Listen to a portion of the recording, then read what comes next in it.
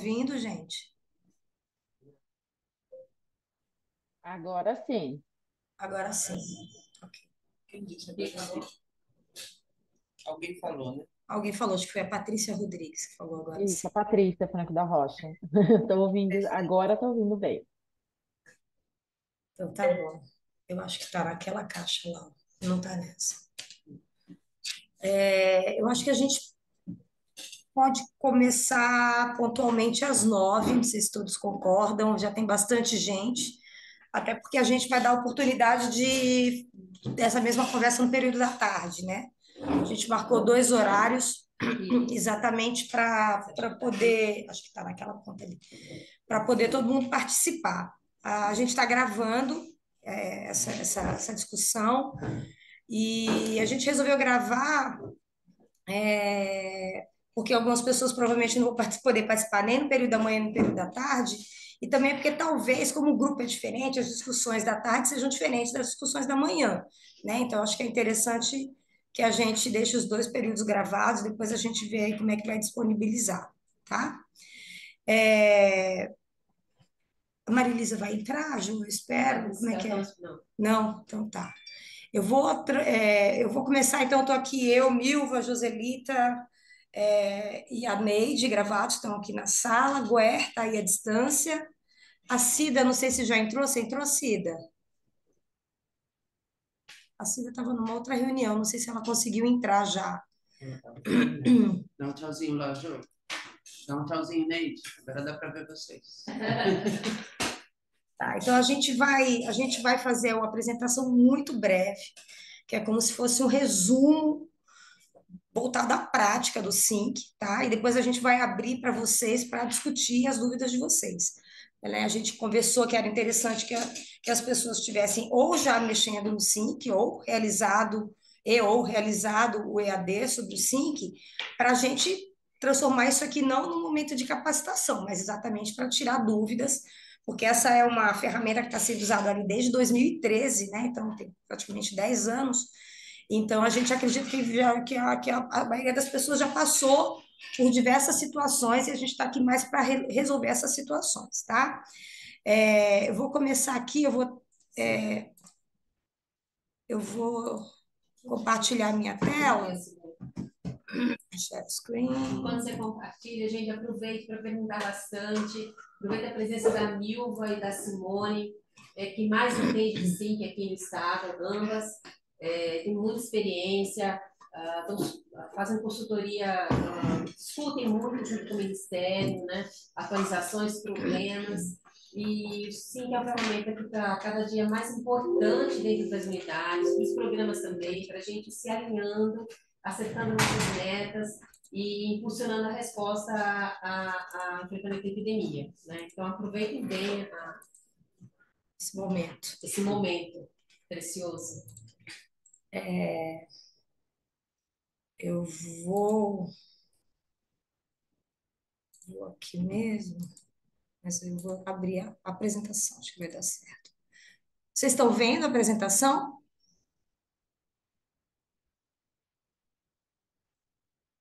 Alguém poderia confirmar para mim se vocês Sim, estão vendo? sim, dá para ver a apresentação. Vocês estão vendo o modo tela cheia? Não, Sim, sim. Tá, então tá. Então, bem, para quem não estava lá no, no fórum de dirigentes, né, a gente trouxe isso aqui mais para relembrar, né, a questão do contínuo do cuidado. É, então, mostrando para vocês que a gente tem diversas etapas do, do, do cuidado, onde a gente imagina que essas pessoas circulem, as pessoas vivendo com HIV circulem, né? Então, diagnosticam, precisam ser vinculadas, iniciar a terapia antirretroviral e estarem retidas é, e aderentes à TAV para alcançar o objetivo final da terapia antirretroviral e do nosso cuidado, que é a supressão viral, tá? Isso é, é impulsionado pelas equipes multiprofissionais dos serviços. No entanto, a despeito do nosso, de todos os nossos investimentos aí, a gente sabe que pessoas escapam desse contínuo do cuidado e acabam caindo em algumas lacunas, né? Que a gente trouxe algumas aqui, né? Então, pessoas podem se apresentar tardiamente para o cuidado, com CD4 bastante baixo, é, podem demorar para iniciar o tratamento, então entrarem no gap de tratamento, é, não estarem aderentes à terapia, entrarem em falha virológica ou interromperem o tratamento e ou o segmento, né? É, então, a ideia do SYNC, o SYNC não é o monitoramento em si, né? O SYNC é a ferramenta que vai ajudar as pessoas dos serviços especializados para realizar o monitoramento dessas pessoas que acabam caindo nessas lacunas do cuidado. Né? Então, ele prevê, através dos seus relatórios, a identificação nominal de pessoas que estão perdidas em algumas dessas lacunas e que precisam ser abordadas pelo, pelas nossas equipes. Então, em última instância, ele acaba guiando alguns processos de trabalho dentro do SAI que vão qualificar o serviço. Né? Então, por isso que o SINC é tratado como uma ferramenta importante para ser utilizado dentro do programa de qualificação dos SAIs. Tá? É, uma vez identificadas essas pessoas, a gente parte em busca, inicialmente, de entender o que está acontecendo com elas, né? Então, entender se elas estão vivas, é, se elas estão com alguma questão específica, onde que elas, se elas foram transferidas, se elas mudaram de país, e a gente tem uma série de fontes de dados para realizar essas pesquisas. A gente trata tudo isso EAD, eu não vou, eu não vou é, é, me ater a essa, essa questão específica, mas o importante é que uma vez que a gente tenha é, essas, essas, esses relatórios né, de pessoas perdidas nas lacunas, o mais importante é a gente fazer alguma coisa por elas, né? Não é só identificar, é a gente ter alguma coisa diferente a oferecer. Então, a gente tem um trabalho que é um trabalho um pouco mais duro, operacional, de buscar pessoas é, na Receita Federal para ver se foram óbito ou não, mas a gente tem um, um trabalho que é um pouco mais é, delicado, complicado e qualificado, que é trabalhar as equipes para é reduzir essas lacunas, né? Então, buscar pessoas em interrupção de tratamento é, e trazê-los de volta ao serviço, iniciar tarde de quem não está tratando. Então, isso vai depender da atuação de toda a equipe, né? Indo direto para a ferramenta aqui agora, né? A gente tem um passo inicial, que é um passo de solicitação de acesso ao SINC, é, o SINC pode ser acessado pelos gestores dos serviços do SUS, né? E para to por todos os técnicos envolvidos no monitoramento clínico das pessoas vendo com HIV AIDS, né? Que estão dentro do SAIS. A gente colocou aqui técnicos porque a gente, a gente tem acesso nominal a essas listas, isso é uma coisa muito delicada, né? Nesses tempos aí de Lei Geral de Proteção de Dados, a gente tem acesso nominal com dados identificados, o nome, telefone, é, é, endereço, é, diagnóstico, CPF de todas essas pessoas. Então, alguém se, se responsabiliza por esse acesso, né? Então, normalmente é quem tem o login. E essa pessoa responde dentro do serviço, responde para os seus conselhos, né? Então, a gente coloca aqui a questão dos técnicos, é uma coisa que a gente vem discutindo com o Ministério, é, porque a gente percebe algumas pessoas que não são da área técnica solicitando login. Então, se, se o Ministério é, definir que vai dar, dar login também para a equipe administrativa dos serviços, alguém vai ter que responder por eles, porque essas pessoas não estão ligadas ao conselho. Né? Então, a gente tem discutido isso com eles, mas por enquanto a gente tem é, oferecido é, esse acesso às pessoas que, que, são técnicos, tá? do grupo técnico. Então, a gente aqui dentro do, do, do coordenação estadual libera do Estado de São Paulo, a coordenação municipal libera dos serviços ligados à rede municipal é, do, do, do, município de São Paulo. E uma coisa importante desse processo de acesso ao SINC, de, de, de solicitação de login que a gente coloca, é que a gente tem que tomar muito cuidado para solicitar o acesso a todos os, os serviços aos quais a gente precisa identificar. Né? Por exemplo, se eu estou trabalhando dentro de um SAI é, de Limeira, e Limeira tem outros serviços identificados é, pelo SINC como havendo pessoas dentro é, da, dos relatórios. Não adianta eu pedir só para o SAI, eu tenho que pedir para todos os outros serviços. Por quê? Porque essas pessoas, às vezes, estão alocadas em locais diferentes do, do, do meu SAI. Né? As pessoas podem ter realizado o primeiro exame dele, por exemplo, dentro de um hospital. É, e aí ele vai ser identificado como, como instituição solicitante Hospital de Limeira. né? Então, isso é uma coisa muito importante, porque às vezes as pessoas abrem os relatórios e falam assim: eu abri o meu relatório e não tem ninguém, eu não estou achando ninguém. Eu estou vendo três pessoas no GAP e eu sei que tem dez pessoas no GAP de tratamento.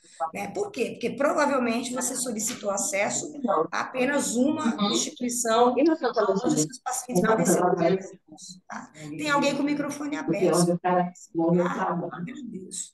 Porque até eu parar ali para todo mundo vai dar um tempo. cenário, contei dois. É, Daniela, Daniela, eu poderia.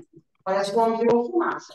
Eu não sei se foi sentido por isso. É, eu vou fechar. Eu apertando só. O mouse, é, o mouse está perdido. Sumiu. O mouse está perdido. É, Enquanto a Simone está procurando aqui, é, só para um adendo a isso que ela estava falando. Para entender essa questão de ter várias unidades que aparecem né, para você olhar, a gente precisa entender qual que é a base do SINC. Tudo nele começa a partir do CICEL. Né? E o CICEL relaciona as unidades como instituição solicitante. Então, se você tem várias unidades dentro do seu município que solicitam carga viral e CD4, ou se a sua unidade tem identificação com mais de um nome, todos eles vão aparecer para você como instituição solicitante e podem ter pessoas penduradas em relatórios. Então, Desde que você solicite acesso a todos eles. Vão aparecer Sim, você sim, por isso você precisa solicitar o acesso a todos. Então, acho que a, a Leite passou por uma situação como essa, trouxe um município que de novo estava enxergando os seus pacientes, seus usuários, né? E, na verdade, esses usuários estavam vinculados a uma outra instituição, né? Então, isso é muito importante, isso é um, um problema que a gente não consegue resolver aqui, né? Vamos lembrar aqui que o, o SINC é um sistema do Ministério da Saúde, então, essa questão da unificação do, dos pacientes em um cadastro só, é, deveria, de, dependeria de um ajuste dentro do próprio Ministério da Saúde para poder fazer um deparo, identificar que o serviço hoje é identificado como SAI Tapetininga, no passado era chamado de, sei lá, Centro de Saúde 2 de Itapetininga, né? Então, se a, se a gente não, não tem nenhuma, nenhum nível de, de governabilidade sobre esse ponto. Então, nossa sugestão é, entre, na hora que vocês clicarem em município, vai aparecer todas as instituições onde o SINC enxerga pacientes daquele município. Solicitem a todos, tá? É, bem, então, aqui é só para mostrar para vocês aqui no canto superior direito, quem tem mais do que uma, uma instituição é, vinculada ao seu cadastro, ele vai aparecer aqui listada essas instituições, e o primeiro ponto que você faz é escolher qual instituição que você quer olhar na hora que você for buscar os seus relatórios ali no canto esquerdo, de gap de tratamento, de carga viral, de abandono, e assim por diante, né? Então, por exemplo, aqui eu no, meu, no meu login eu tenho acesso ao município de São Paulo, ao serviço Centro de Referência e Treinamento e ao programa estadual de DSTA de São Paulo, onde está todo mundo vinculado ali, né? Então, isso é os pontos iniciais, tá? É, e aí, então, a Milva vinha falando, como é que funciona o SINC, né? Então, o SINC parte da identificação de pares perfeitos entre bases do Ministério da Saúde que relacionam pessoas vivendo com HIV. As principais delas são o CICEL, que vai trazer lá todos os, os, os resultados de exames realizados é, na rede pública, e o Ciclone, que traz todas as dispensas de antirretrovirais para as pessoas vivendo com HIV, né? Então, ele procura uma pessoa lá no CICEL, ele olha para alguns dados, que são os dados hábeis para ele procurar par perfeito no outro sistema, e aí, quais são esses dados-chave? São o nome da pessoa, a sua data de nascimento, o nome da mãe e a cidade de nascimento. Né? É, além disso, eles falam, falaram em 2018 que eles iam utilizar o CPF como campo-chave também. O que a gente tem percebido é que provavelmente esse, essa, essa lógica de busca por CPF não está acontecendo que a gente tem visto pessoas com CPF igual no CICEL e no Ciclon, que não estão sendo identificadas ainda como para, para perfeito, né? Então, a princípio, a gente tem trabalhado com os dados de identificação da pessoa que não CPF, tá? E aí ele vai olhar no Ciclon e vai procurar pessoas que têm exatamente os mesmos dados de identificação. Mesmo nome, mesmo data de nascimento, nome de mãe e cidade de nascimento. Se ele acha isso aqui tudo idêntico, ele vai falar, ok, isso aqui é um par perfeito. Então, ele vai começar a olhar. Essa pessoa que está no CICEL, fazendo exame, como é que está a situação dela no ciclone? Ela iniciou tarde, sim ou não? Ela está com a última carga viral, é, desculpa, ela está pegando medicamento regularmente? Sim ou não? Pessoa que está pegando medicamento regularmente, a carga viral dela está detectável? Sim ou não? Então, ela vai olhando esses pares perfeitos. Só que em algumas situações podem haver algumas divergências. Por exemplo, Maria da Silva Souza. Aí do lado do outro lado do ciclone, a Maria da Silva Souza está identificada como Maria Silva Souza. Para o, para o SINC, esse não é o par perfeito, tá? Então, ele vai falar que o lado direito aqui não é a mesma pessoa do lado esquerdo. Então, ele não vai conseguir fazer essa associação. Qual é a outra condição aqui? A data de nascimento está incorreta. A farmácia, na hora de digitar o 01 sem querer colocou 11. Ele não vai identificar como par perfeito. Nome da mãe, Elza Silva, não vai identificar. Aqui, o Elza da Silva Souza, porque um, num cadastro estava o nome da mãe de casado, no outro estava o nome da mãe de solteiro. Não vai identificar. Cidade de nascimento, às vezes mudou uma letrinha ali, né? Itapeva é muito próximo a Itapevi ali dentro da listagem. Se relacionou errado, ele não vai identificar. E às vezes é uma, uma situação muito sutil. Às vezes é um espaço, né? Aqui faltou o dar, seria Maria espaço espaço da Silva Souza. Do outro lado é só Maria espaço Maria espaço da espaço Silva espaço Souza. Se você põe dois espaços ao invés de um espaço só, ele não identifica como um par perfeito, tá? Então, é um problema, né? é uma situação que requer atenção de quem está realizando o cadastro. A gente tem um, uma situação bastante complicada, porque o cadastro no CICEL é realizado pelo laboratório executor dos exames e que usa como base a solicitação de exame, né? Então, o médico vai fazer a primeira solicitação de exame, ele preenche o formulário do CICEL. Dali para frente, o laboratório vai ficar sempre utilizando aquele cadastro. Então, se você errou o cadastro no CICEL numa primeira vez, vai ficar complicado, porque para fazer essa correção, é só o laboratório que consegue realizar essa correção. O Ciclone, a gente ainda tem uma vantagem que o paciente está diretamente com o dispensador o tempo inteiro. Então, se houver alguma mudança de nome, alguma alteração que a gente precise realizar e que possa ser realizada pelo Ciclone, a gente tem a facilidade de fazer essa, essa correção através do Ciclone, tá? É... Então, a gente lida com duplicidades entre os bancos, né, entre Cicel e Ciclon, e às vezes a gente tem duplicidades dentro do próprio banco, dentro do, do banco de cadastro do Cicel e dentro do banco de cadastro do Ciclon. Vocês devem já ter, para quem já está trabalhando, devem ter visto que às vezes a gente tem cinco cadastros da pessoa no, no Cicel e quatro cadastros da mesma pessoa no Ciclon.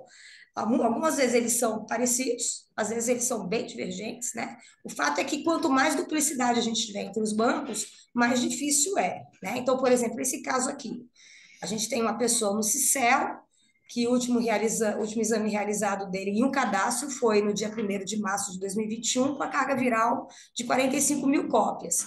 Aí a gente tem uma pessoa no também no CICEL, uma, uma pequena divergência aí, o último exame com a carga viral de 83 cópias. E no Ciclone, a gente tem essa pessoa aqui com os dados idênticos ao primeiro cadastro, tá? Que é aquele cadastro da esquerda. O que, que vai acontecer nessa situação? Eu vou ter essa vinculação com o primeiro caso. Então, essa pessoa aqui, que o último exame dela foi realizado ali do lado direito, né, ele vai ser identificado como gap de tratamento pelo cadastro da direita, então essa pessoa vai ter um cadastro, um, vai, ser, vai aparecer no SINC como gap de tratamento e vai aparecer no outro cadastro como carga viral detectável, né? Então, mesmo que o, que o lado direito aqui ele tivesse uma última carga viral indetectável, ele teria, estaria aparecendo como carga viral detectável, tá? Então, esse é o problema. Fala, Cida. É, as perguntas você vai querendo no final, acho melhor, no final, final porque às vezes a gente agrupa e faz uma coisa só, tá?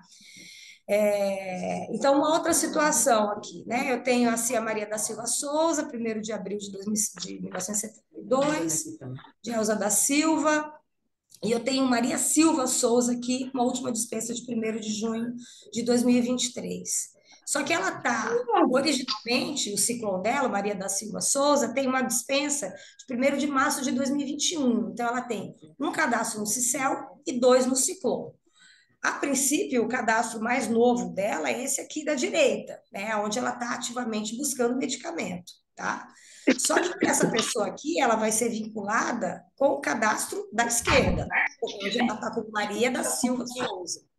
Como ela está pegando ativamente pelo da direita e o cadastro da esquerda foi interrompido em 1 de março de 2021 para fins de ela vai ser identificada como uma interrupção de tratamento, como abandono de tratamento. Tá? Então, isso mostra que também as duplicidades entre os bandos do ciclone são problemáticas. Tá?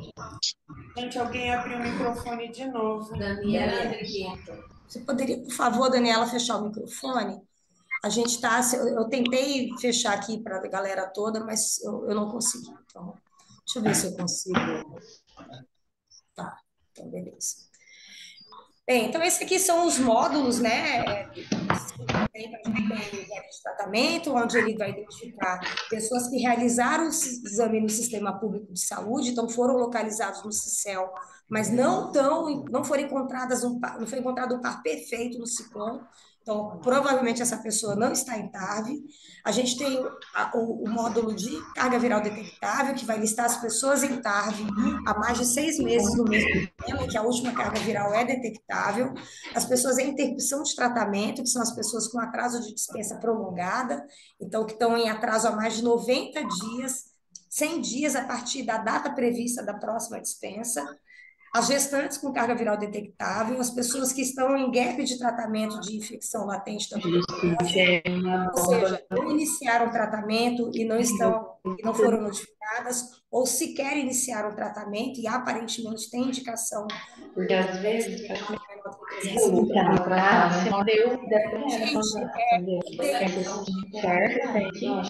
é, com o microfone. É, vigilância de São José do Rio Quarto, vigilância epidemiológica. Por favor, feche o seu microfone. Mas o, o, o ainda. Pede para todos. Eu estou tentando pegar aqui.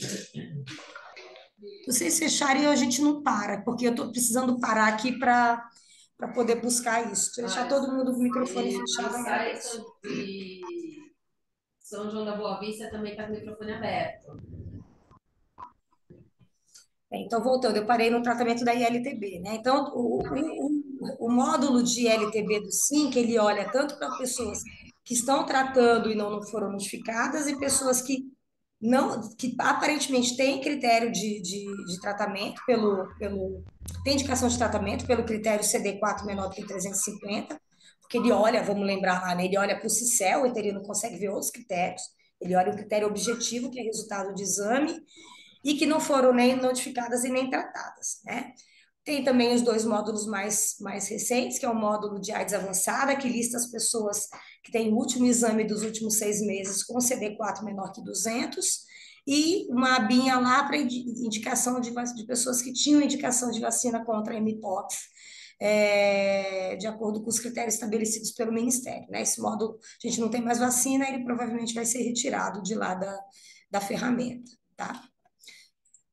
Bem, o gap de tratamento, né? Eu, eu, a gente não vai falar sobre todos eles, a gente só vai mostrar para vocês por que, que as pessoas são listadas lá, né? Então, qual é o critério do SINC para colocar uma pessoa listada dentro do relatório de pessoas em gap de tratamento? Então, ele vai buscar no CICEL pessoas menores de 24 meses que tenham pelo menos duas cargas virais acima de 5 mil cópias, ou pessoas acima de 24 meses que tenham pelo menos uma carga viral detectável acima de 50 cópias, e vai procurar no ciclone se essas pessoas estão retirando o TARV ou não. Se ela não encontrar, ele vai listar como uma pessoa em gap de tratamento, tá? Existem outros relatórios, que são relatórios, é, nesse caso aqui do gap, o um relatório que consolida todo o trabalho realizado pelo serviço, E existe uma última aba aí, que é a aba de monitoramento dentro do gap de tratamento, que é onde você vai ter acesso a uma área para estabelecer uma situação para cada caso que foi listado lá no relatório nominal e que, na verdade, é o resultado da investigação que você fez com relação àquele caso. Tá? Então, todas as pessoas que foram, foram listadas no relatório nominal, a gente vai fazer uma busca dessas pessoas, vai entender o que está acontecendo com elas, vai, obviamente, propor uma ação e vai mostrar para o Ministério lá o que está acontecendo com aquelas pessoas. Né? Então, isso aqui é um campo de busca, eu não vou detalhar, porque eu acho que isso é o EAD que dá conta, tá? de vocês entenderem como é que é realizada essa busca mas a gente vai falar de uma forma mais específica sobre cada uma das situações para vocês entenderem que provavelmente a maior parte da dúvida, das dúvidas que vocês têm dizem respeito a essas situações que vocês vão encontrar quando vocês identificam pessoas em gap de tratamento. Bem, uma primeira situação é você ter uma pessoa lá como criança exposta. Você fala assim, ora bolas, você falou para mim que a carga viral tem que estar detectável. Como é que eu vou encontrar uma criança exposta, exposta dentro desse relatório do SINC se a, essa pessoa não tem carga viral detectável? Bem, o SINC, no começo, ele trabalhava com exames realizados, na verdade era até CD4, CD4. não era nem carga viral, dentro da dentro e que foram lançados, o resultado foi lançado dentro do CICEL, né? Então, por isso, outras situações que não pessoas vivendo com HIV, mas pessoas que estavam em investigação é, de, de diagnóstica, acabaram sendo listadas lá, né? Então, a gente tem lá nessa situação, pessoa, investigação de criança exposta, paciente HIV negativo, é, são duas das situações que a gente pode listar. Até recentemente, a gente percebeu que, apesar deles terem desvinculado da, da realização de exame de carga de CD4 e ter vinculado a realização de exame de carga viral, estava aparecendo, né? Então a gente via lá pessoas em PrEP, pessoas que tinham é, gestantes que estavam fazendo uma, uma, uma investigação é, sorológica para uma definição de, por outro fluxograma que não sorologia, mas sim pela carga viral para definição se eram positivas ou, ou, negativas na gestação, acabaram entrando. E aí a gente notificou e eles fizeram um ajuste. Muito provavelmente essas pessoas não vão mais aparecer dentro do relatório. Tá? Mas se surgir, o que, que a gente vai fazer? A gente vai lá dentro da, da ferramenta de monitoramento e vai monitorar essas pessoas como HIV negativas. As crianças expostas como crianças expostas, as demais como HIV negativo. Né? Além disso, a gente vai encontrar pessoas em abandono, né? Quais são essas, essas situações que a gente pode ver? É, pessoas que foram localizadas no CICEL e não foram localizadas no ciclone, mas na verdade elas estavam sim, já pegaram, já haviam pego o medicamento pelo menos uma vez no ciclone e não estavam aparecendo, né? Lembrando para vocês que gap de tratamento é para quem nunca iniciou TAV. Se a pessoa iniciou uma vez, pegou uma dispensa lá em 2019 e depois nunca mais ela apareceu, inclusive no ciclone, porque o ciclone só mostra é, no histórico a partir de 2011, a gente vai colocar que ela é um abandono de tratamento. Né? Ela acabou sendo listada aí, ou porque ela iniciou e abandonou muito lá para trás, antes do período que está sendo utilizado pelo SINC para identificar uma pessoa em uso de TARV, ou porque ela pegou, ela iniciou o tratamento, mas essa dispensa não foi registrada no Ciclom. Isso às vezes acontece, algumas vezes as pessoas estão internadas, iniciam TAV na internação, as pessoas estão pegando medicamento através de um protocolo de pesquisa, ou estão comprando medicamento, ainda tem gente que compra, né, e depois é, é, acabam não sendo, essa dispensa acaba não estando dentro do Ciclom, né? É, então, todo mundo que pegou medicamento e, e, e, por algum momento abandonou na sequência, não importa a via por onde ele tem adquirido esse medicamento, você vai monitorar ele como paciente em abandono. Então, não é um gap. Tá? Uma outra situação que a gente listou aqui são pessoas que iniciaram tratamento fora, né? Iniciaram tratamento em outros países, por exemplo, e vieram para cá já em uso de TAF, né? E, mas em um momento apareceu essa pessoa no ciclo. Uma outra, pessoa, uma outra questão são pessoas que foram a óbito, né? E aí não importa se elas estão se elas estão em gap de tratamento ou não, a princípio a gente deveria monitorar como óbito para que essa, essa, essa informação fosse retroalimentada em algum ponto dentro do Ministério da Saúde para entender que essa pessoa morreu. O que acontece é que isso não, se, não é retroalimentado no momento, né? Toda a informação que a gente coloca no monitoramento, ela não migra para nenhuma tela de cadastro do Ministério da Saúde. Ela fica congelada. Por outro lado, a gente sabe que a pessoa foi a óbito. Então, no segundo momento que a gente for é, fazer um, a busca de uma lista nominal de pessoas em gap de tratamento, essa pessoa vai ser uma pessoa que saiu do gap de tratamento, né? Para a gente, ela não é mais um gap. Então, eu não vou relacionar todas as pessoas que já foram a óbito. Quem tiver monitorado como, a, como tendo ido a óbito, quem, quem foi abandono, quem era uma carga viral um, HIV negativo, quem era uma criança exposta, eu não preciso mais olhar, porque são situações definitivas, tá? É, uma outra questão são pessoas que já estão em tratamento, tá? Então, são pessoas que vão aparecer lá como estando em GAP, mas na verdade não são GAP. Por que, que isso pode acontecer? O relatório do SINC, os relatórios do SINC, tirando de carga viral, de carga viral de gestante, que ele é atualizado diariamente, Todos os, os, demais relatórios, eles são atualizados mensalmente. Então, logo no comecinho da, da primeira semana do mês, eles fazem novamente um cruzamento da base do Cicel com o Ciclon e geram os relatórios nominais, tá? Então, muitas vezes eu estou pegando uma pessoa que estava no relatório do gap de tratamento no, no, metade do mês, no dia 15 de agosto, e essa pessoa iniciou o tratamento é, no dia 13, né? Só que o relatório do SINC foi gerado no dia. Pessoal, tem alguém com o microfone? Poderia, por gentileza, desligar o microfone? Então, o, o, essa pessoa iniciou terapia antirretroviral depois que o relatório foi gerado, né? Então, você vai monitorar lá como a pessoa já estando, já, já estando em tratamento, tá? Outras situações são as situações da duplicidade. Então, a pessoa tem dois cadastros no CICEL. Um cadastro, ela é encontrada no par perfeito lá no Ciclone. E o outro cadastro não foi encontrado um par perfeito. Só que a gente sabe que aquela pessoa que era Maria da Silva em um, é Maria Silva no outro. Então, eu posso ir dentro do SINC e monitorar essa pessoa como já estando em tratamento.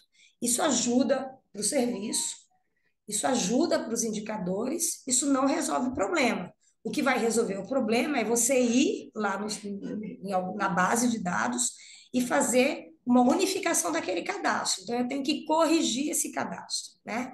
Então, eu vou lá, faço e deixo o Cicel idêntico ao Ciclone, e a partir desse momento, todas as vezes que tiver um cruzamento, o próprio Ministério da Saúde pode entender que aqui o, o lado de, que o, o, cadastro do Cicel é idêntico ao cadastro do Ciclone e vai conseguir entender que aquela pessoa já iniciou terapia antirretroviral tá?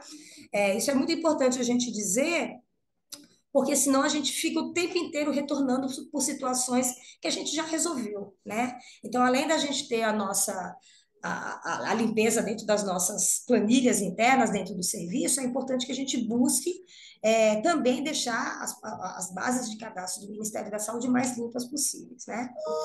É, essa unificação não está a cargo da, da, do serviço. Né? O que o serviço faz é fazer, usar de tudo para deixar com que todos os dados cadastrais do CICEL e de todos os cadastros que aquela pessoa tiver no CICEL sejam idênticos aos, aos dados cadastrais do Ciclone de todos os cadastros que aquela pessoa tiver no Ciclone, tá? Mas a unificação, quem é quem faz, em última instância, é o Ministério da Saúde, tá? É, a Josita está lembrando aqui para não inativar cadastro, né? A gente percebeu que em vários locais as pessoas vinham, quando identificavam um problema sem solução, eles iam lá e inativavam o cadastro. Inativavam o cadastro de pessoas que estavam regular. Falavam, ah, isso aqui é uma duplicidade, eu vou inativar. Né? É, na verdade, isso é ruim, porque você, você, você, você primeiro você não deixa de ter o cadastro ativo para realizar o relacionamento.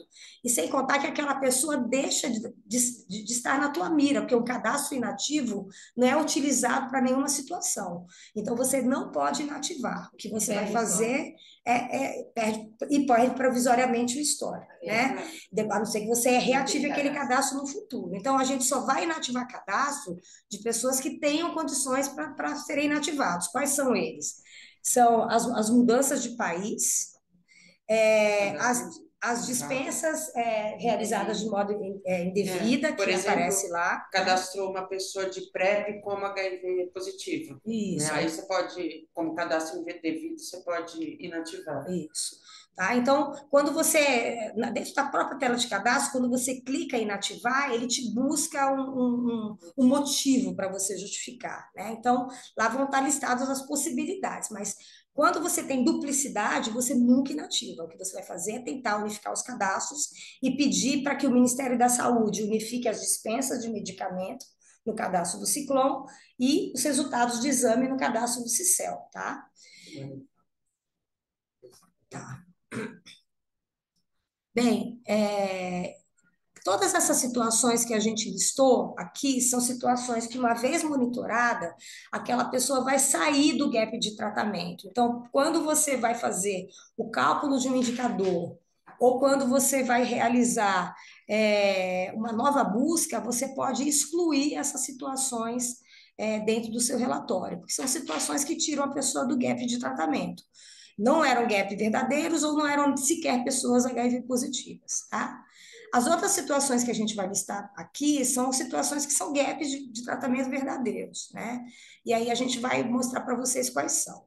Uma delas, que você tem a possibilidade de monitorar, são pessoas que não são acompanhados nessa unidade. Nessa situação aqui, é importante a gente dizer que são pessoas que nunca foram acompanhadas nessa unidade. Quais são elas? Por exemplo, a pessoa é da rede privada e aí ela perdeu o convênio dela e ela continua fazendo exame, ela quer continuar fazendo exame, ela fez um exame aqui dentro do CRT. Ela vai aparecer, se ela não iniciou TAV, como sendo um gap do CRT, tá? Porque ela fez exame aqui. Só que ela nunca acompanhou aqui. Então, eu vou monitorar como uma paciente que não acompanha nessa unidade, tá? É, isso é diferente de um campo que está um pouco mais embaixo, mas eu já vou falar, que é do paciente transferido.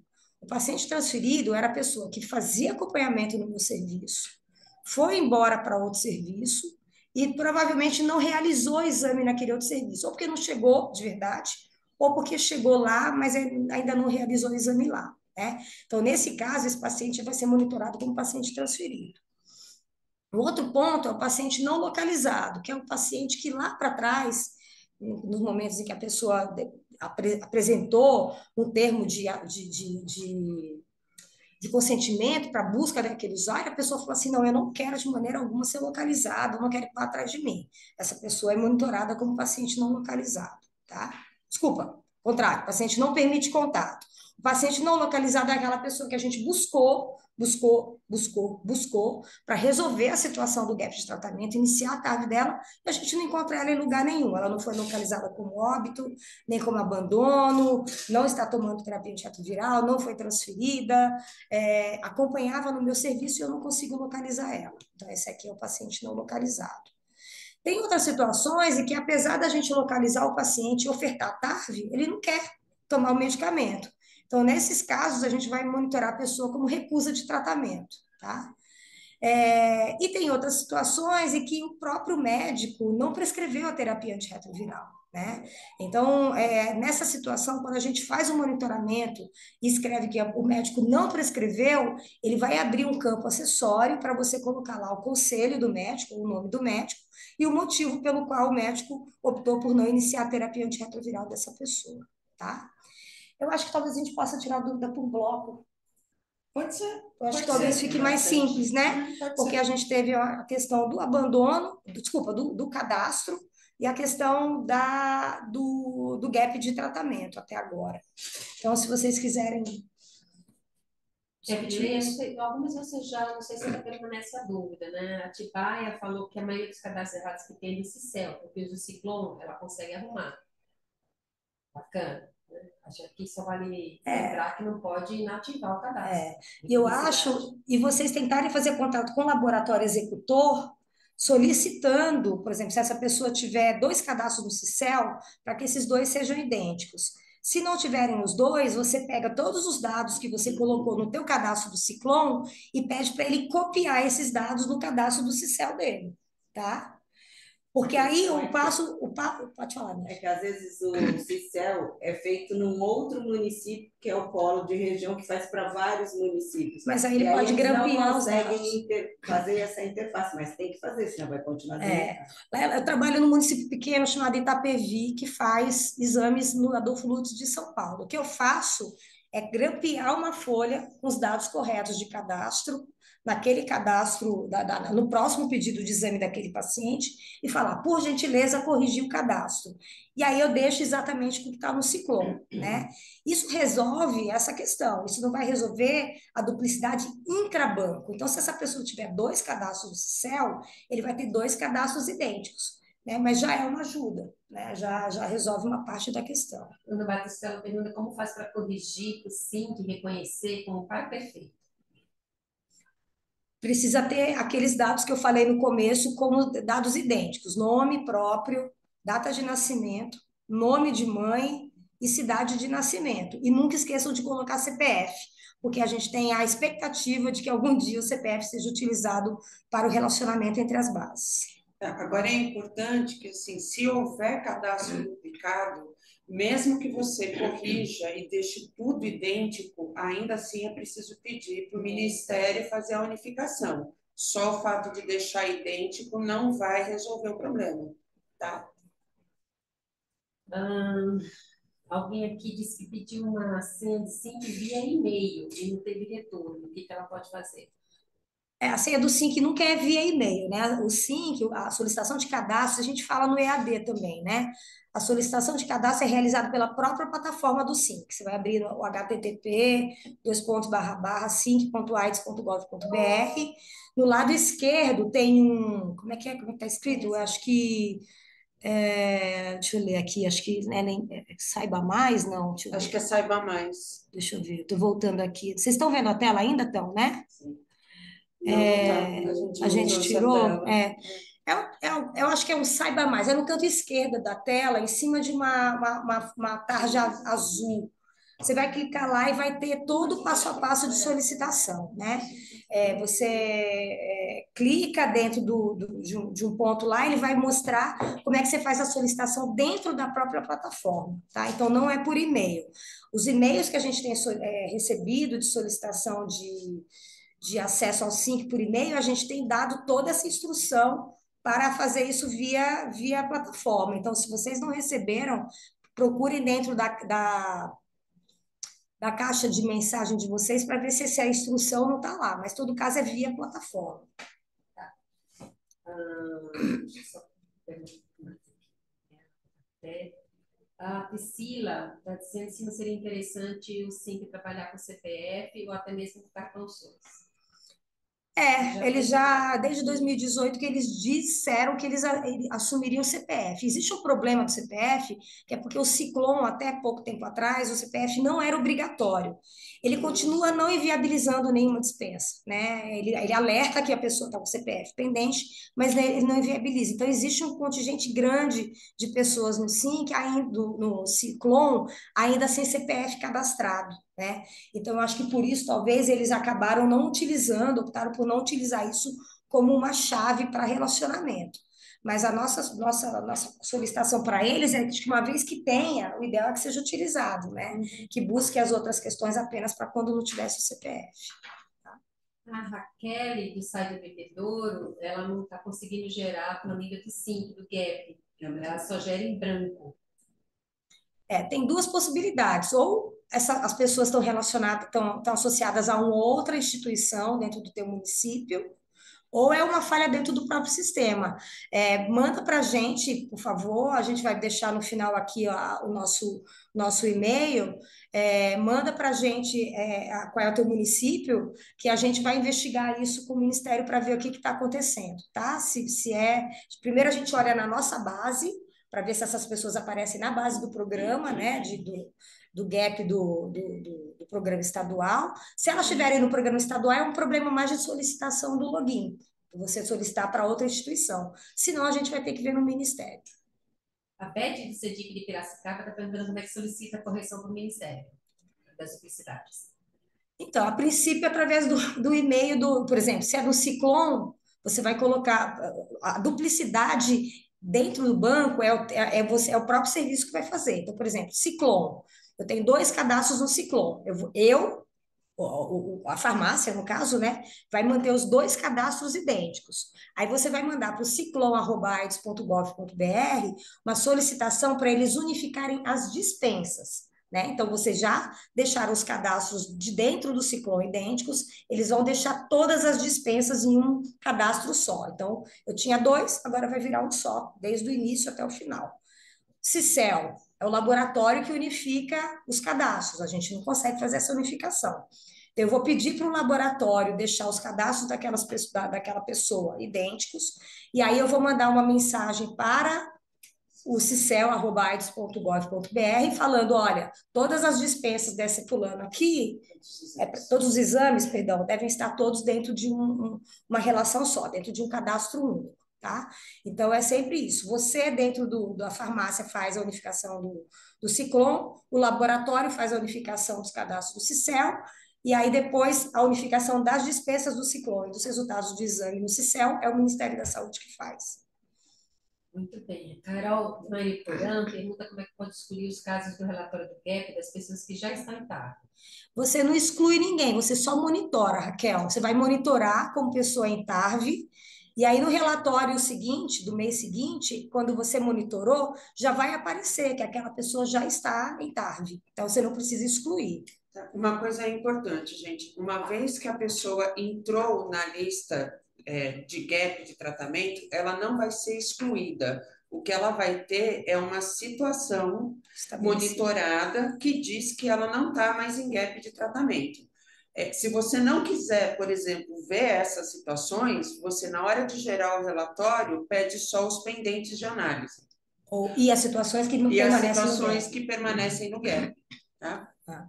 Por isso que a gente acabou listando aqui quais são as situações que saem do gap e quais são as situações que permanecem no gap. Então, essa primeira tabela aqui são situações que, uma vez que você monitorou, essa pessoa não é um gap de tratamento. Então, na próxima solicitação do relatório nominal, você pode não incluir essas situações, porque você já monitorou, tá?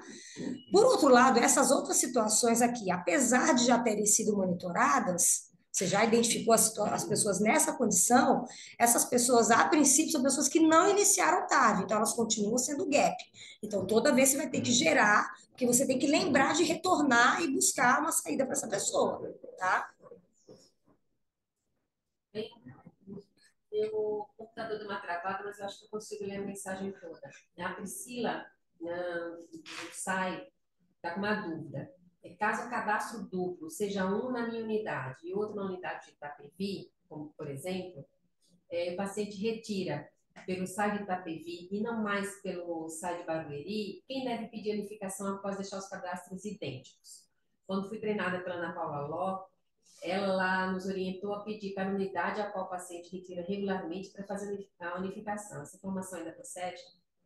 Essa é uma das saídas, mas a outra saída é você transferir o paciente, aquele cadastro para você e você mesmo fazer a unificação, tá? Essa é uma situação que dá para fazer. É, não, não, tem uma regra determinada de quem é. faz isso, né? É, é um acordo que você faz junto ao outro serviço. Uhum. O programa de STA também está com problema no login as expectativas, não consegue nenhum relatório, só gera banco, acho que é, manda e-mail para Manda e-mail para a gente. Todas as situações que vocês não estão enxergando pessoas ali, e vocês sabem que existem pessoas ali, vocês mandam para a gente que a gente vai investigar primeiro aqui, para ver se é um problema relacionado à solicitação de login para a hierarquia correta, senão a gente vai para o Ministério, dar um retorno. É, a Mariana Garrote pergunta se o programa estadual não pode solicitar que os laboratórios façam essa unificação e solicitação ao Ministério da Saúde. É assim, a gente até poderia, a gente pode conversar com a rede de laboratórios, é, orientando que está ocorrendo esse movimento do monitoramento clínico, que a gente tem o problema aí das duplicidades de cadastro, que a gente precisaria é, contar com a colaboração deles para fazer a unificação, para deixar os cadastros idênticos. Mas com os laboratórios a gente só chega até aí, porque quem está frente a frente com o paciente sabe quais são os dados corretos, quer dizer, os dados que precisa pegar para enviar para o laboratório são os serviços. E quem identifica a duplicidade também é o serviço. Então, o serviço que identifica a Exatamente. duplicidade sabe qual é o cadastro que está errado, sabe qual é É. o cadastro que está correto. É o serviço que, que É. por enquanto, né? Esse é o serviço, esse, essa atividade de identificar e, e tentar entrar em contato com o laboratório. E tu verá. Bom dia. Dúvidas sobre duplicidade de cadastro no CICEL. Orientação no curso foi que a correção dessa duplicidade deve ser solicitada pelo e-mail cicel.ai. Isso. Mas obtive resposta após solicitar, após solicitar, unif, solicitar unificação que não era possível unificar. Não é possível unificar cadastro de paciente duplicado no banco de dados. Quando for possível efetuar a unificação, todos os laboratórios executores CD4 e, e Paragrau serão avisados. É, Esse e-mail você encaminhou para a Cicel ou Cicel encaminhou para... Então, por favor, se você tiver esse e-mail, encaminhe ele para a gente, porque essa orientação de unificação de cadastro veio do próprio Ministério para nós. Então, se alguém lá está fazendo diferente, a gente vai ter que reconversar no Ministério e repactuar isso. É, só Então, lembrando, Por favor, encaminhe esse e-mail. Só lembrando que pode ter acontecido uma situação. Uma vez eu fiz uma solicitação de unificação do CICEL em nome de um outro município, e quando o Ministério foi ver, os dois cadastros do CICEL não estavam idênticos. Então ele falou: eu não, a gente não vai unificar, porque esse, este cadastro do CICEL é diferente do outro cadastro do CICEL. Então eu preciso que vocês primeiro unifiquem para depois fazer Primeiro pra idêntico. idêntico para depois fazer a unificação. Então, lembre sempre que primeiro tem que fazer essa, essa deixar idêntico os dois cadastros dentro da mesma base, tá? Tudo bem, Tuberara? É importante mandar o e-mail para cá para a gente ficar sabendo e poder é, agir melhor, né? Talvez tenha É. mudado o procedimento, por algum problema técnico, a plataforma foi atualizada, as plataformas são atualizadas, enfim. Ou às vezes algumas pessoas lá mudam, enfim, né? Vamos retomar. Só uma coisa, Jô, eu estou um pouco preocupada com o tempo, que a gente está com Tá. uma hora Mas aqui, ó, já acabou. é, já. Já. E a gente ainda tem alguns vários módulos para passar, né? A gente, minimamente, a gente tem que trabalhar agora carga viral detectável, abandono e LTB, Você Tá. pedindo o e-mail. tá? O e-mail, a gente Ah, vai... a Cida já a gente colocou. já colocou. Tá aqui colocado, e-mail milva.crt, Milva F. Milva F e squeiroz.crt. Bem, então a carga viral detectável, é, ela traz, ela só tem um relatório lá, que é o relatório nominal, né? Diferente do GAP, você não monitora, você não estabelece uma situação é, dando retorno da tua investigação para o Ministério da Saúde. Então, todo monitoramento que você faz sobre um- uma carga viral detectável, você vai estabelecer uma situação dentro da tua própria planilha, né? Então, de novo, a gente não vai falar como trabalhar, porque isso a gente coloca no EAD, mas todas as planilhas é, que são geradas e que não podem ser, é, é, que, e que o monitoramento não está dentro do próprio SIM, que a gente orienta que esse controle seja feito dentro do próprio, do próprio, do próprio serviço, tá? Então, quando a gente gera o relatório nominal de carga viral detectável, ele vai listar todas as pessoas que têm o resultado de carga viral coletado depois de seis meses do início do, do último esquema antirretroviral, e essa pessoa tem um valor, eh, essa carga viral tem um valor maior ou igual a 50 cópias por ml, tá? É, isso é muito importante falar, porque é, tem, tem vários vieses com relação a isso. Um deles é que a gente gostaria que todas as pessoas com carga viral detectável, independente do tempo de início do esquema, fossem listadas, né? Porque são pessoas que têm que estar sob nossa mira, né? É, às vezes a mudança de um, de um antirretroviral para o outro é uma mudança, mudança sutil, e às vezes é até uma simplificação de esquema, que deixa a pessoa até mais suscetível ainda a permanecer sem supressão viral. Então, é, apesar da gente não conseguir isso, é bom a gente ter a ideia de que a gente não está trabalhando com o todo de pessoas que têm carga viral detectável e estão em uso de TAV. É só um pedaço, é a pontinha do iceberg, né? Então, essas pessoas, elas precisam ser vigiadas, porque essas pessoas estão suscetíveis aí à evolução clínica e à resistência viral, né? É, existe um relatório de carga viral detectável, que é um relatório específico para gestante, né? Que é esse relatório que fica ali no canto esquerdo, embaixo da aba de gestante. E esse relatório, a diferença dele é que ele vai listar todas as gestantes que tiveram a situação gestante assinalada no formulário CICEL ou no formulário Ciclon nos últimos 300 dias e que o último resultado de carga viral dessa pessoa é maior ou igual a 50 cópias. Esse relatório, ele é diário, ele é atualizado diariamente. Existe um porém dele. Algumas vezes as pessoas vieram para mim falar assim: Poxa vida, só que eu estou fazendo, é, eu estou acompanhando uma gestante que a carga, viral de 40 mil e ela não está aparecendo no relatório. Por quê?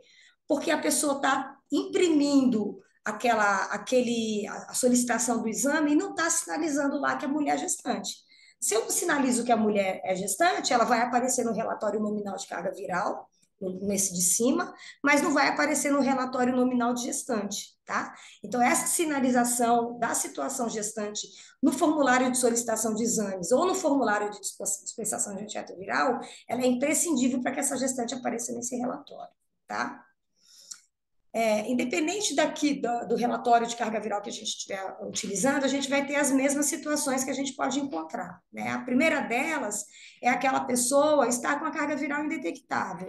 Né? Então, isso acontece muitas vezes por conta da duplicidade de cadastros dentro do CICEL. Então, essa pessoa tinha o CICEL, que é a última carga viral, lançado no, no, naquele cadastro, era detectável, e aí, dentro do próprio laboratório, foi duplicado um cadastro, tem um outro cadastro, e esse último cadastro, a pessoa está com carga viral já indetectável. Tá? É, outra situação é a pessoa ter feito um exame depois que você gerou aquele relatório, e esse novo exame, a pessoa já está com carga viral indetectável, tá? Então, essas são duas situações que estão resolvidas. É, uma outra situação são pessoas que têm cargas virais muito baixas, a gente chama de blip, né? Blip são cargas virais menores do que 500 cópias, alguns, alguns locais colocam menores que 200, e que essa carga viral é uma carga viral transitória. Pode ter sido uma, uma ativação imune por uma infecção, por uma realização de vacina, e o importante desse, dessa, dessa questão é que essa carga viral ela precisa detectar no futuro. Então, quando você tem uma situação que parece um blip, você tem que manter essa pessoa sob vigilância, porque a próxima carga viral dela tem que ser indetectável. Uma outra situação é a gente ter uma pessoa nesse relatório de carga viral detectável aquela pessoa já ter sido vista e já ter sido tomado uma ação, seja ela uma solicitação de genotipagem, que é a situação em cima que eu coloquei, ou uma troca de esquema baseada em genotipagem ou de modo empírico, né?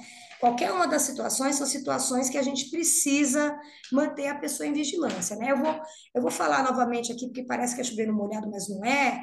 é. Quando a gente trata esses relatórios, a gente tem que pensar que a gente está buscando, em última instância, a solução da lacuna, a solução do problema, né? Então, não é só monitorar, não é prestar conta para você mesmo ou para alguém de que você viu aquela situação uma vez, mas é de resolver uma, um contexto que está facilitando aquela pessoa a se manter ou entrar dentro de uma lacuna de de, tratamento, tá? É, essa pessoa que estava com carga viral detectável pode ter sido, pode ter ido a óbito, né? essa é uma situação importante. Vamos lembrar que essas pessoas já estão em uso de TAV, ela só é listada no, no, relatório de carga viral detectável se ela já iniciou o tratamento. Então, nessa condição, eu tenho a possibilidade de sinalizar o óbito dessa pessoa dentro do cadastro do Ciclone. Então, eu entro no Ciclone, a farmácia entra, abre lá o, a, a, tela de cadastro, a, a parte de cadastro e vai fazer o lançamento do óbito daquela pessoa. Então, no próximo relatório, como são excluídos os óbitos, aquela pessoa não deve aparecer, tá? É, tem outras situações de pessoas que não são acompanhadas na unidade, que não foram localizadas ou foram transferidas, né? Para os casos que não são acompanhados na unidade que não, e que foram transferidos, é importante a gente tentar se relacionar com esses locais onde essas pessoas é, foram destinadas para poder resolver a questão da carga viral é, detectável, né? E tem uma outra situação que são pessoas que foram transferidas para outro país, né? Então a pessoa tinha, às vezes, de fato, o último resultado de exame de carga viral dela detectável, no último exame realizado aqui no CICEL, só que ela foi embora para Portugal, para Espanha, e eu não sei mais qual é a carga viral, carga viral daquela pessoa, né? Então, nesse caso, é importante a gente ir lá no cadastro do Ciclone e fazer a inativação daquele cadastro, sinalizando que a pessoa mudou de país, tá? É... Com relação à carga viral detectável, vocês têm alguma dúvida, gente? Não surgiu nada. Não surgiu nada? É.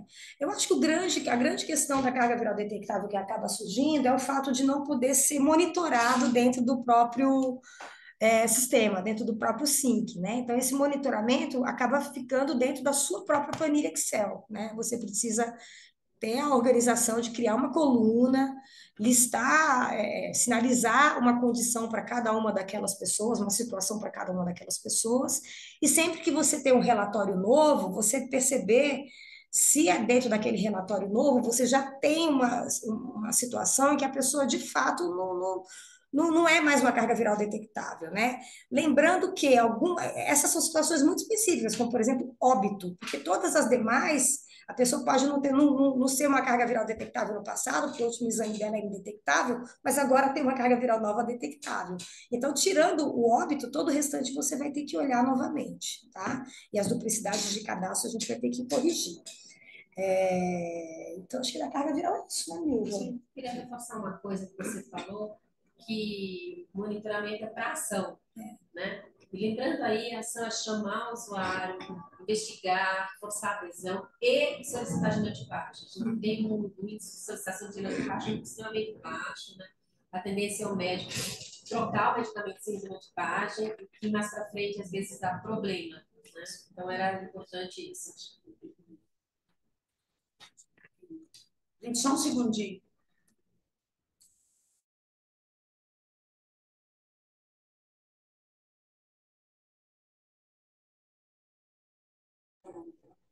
A vai precisar sair aqui para resolver outro problema.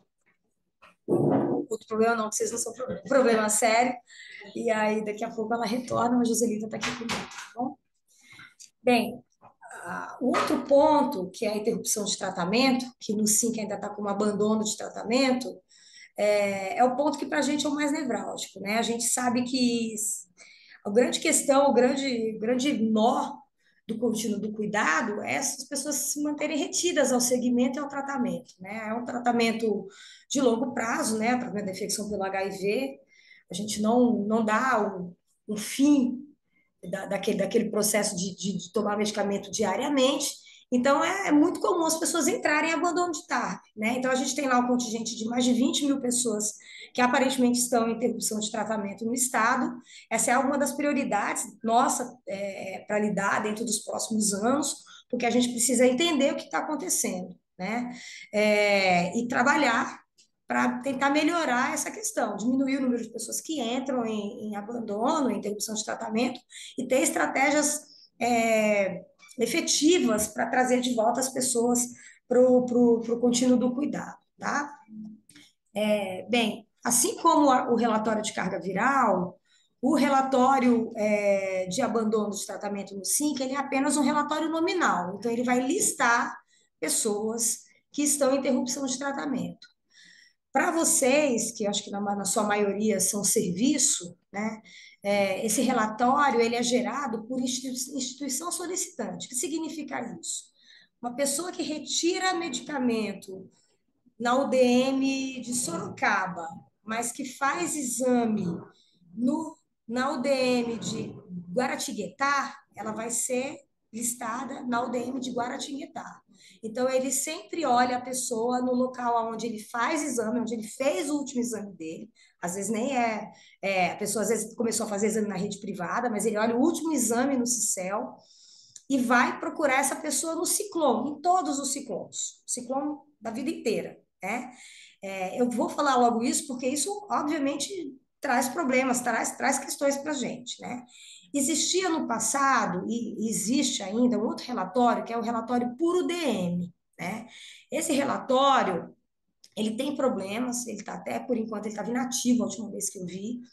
É um relatório que é, lista as pessoas pelo local onde elas fizeram o exame, né? Desculpa, onde elas retiraram o medicamento locais como o CRT, por exemplo, que tem 40% das pessoas que retiram medicamentos são da rede privada, a gente tinha uma sujeira absurda nesse relatório por UDM.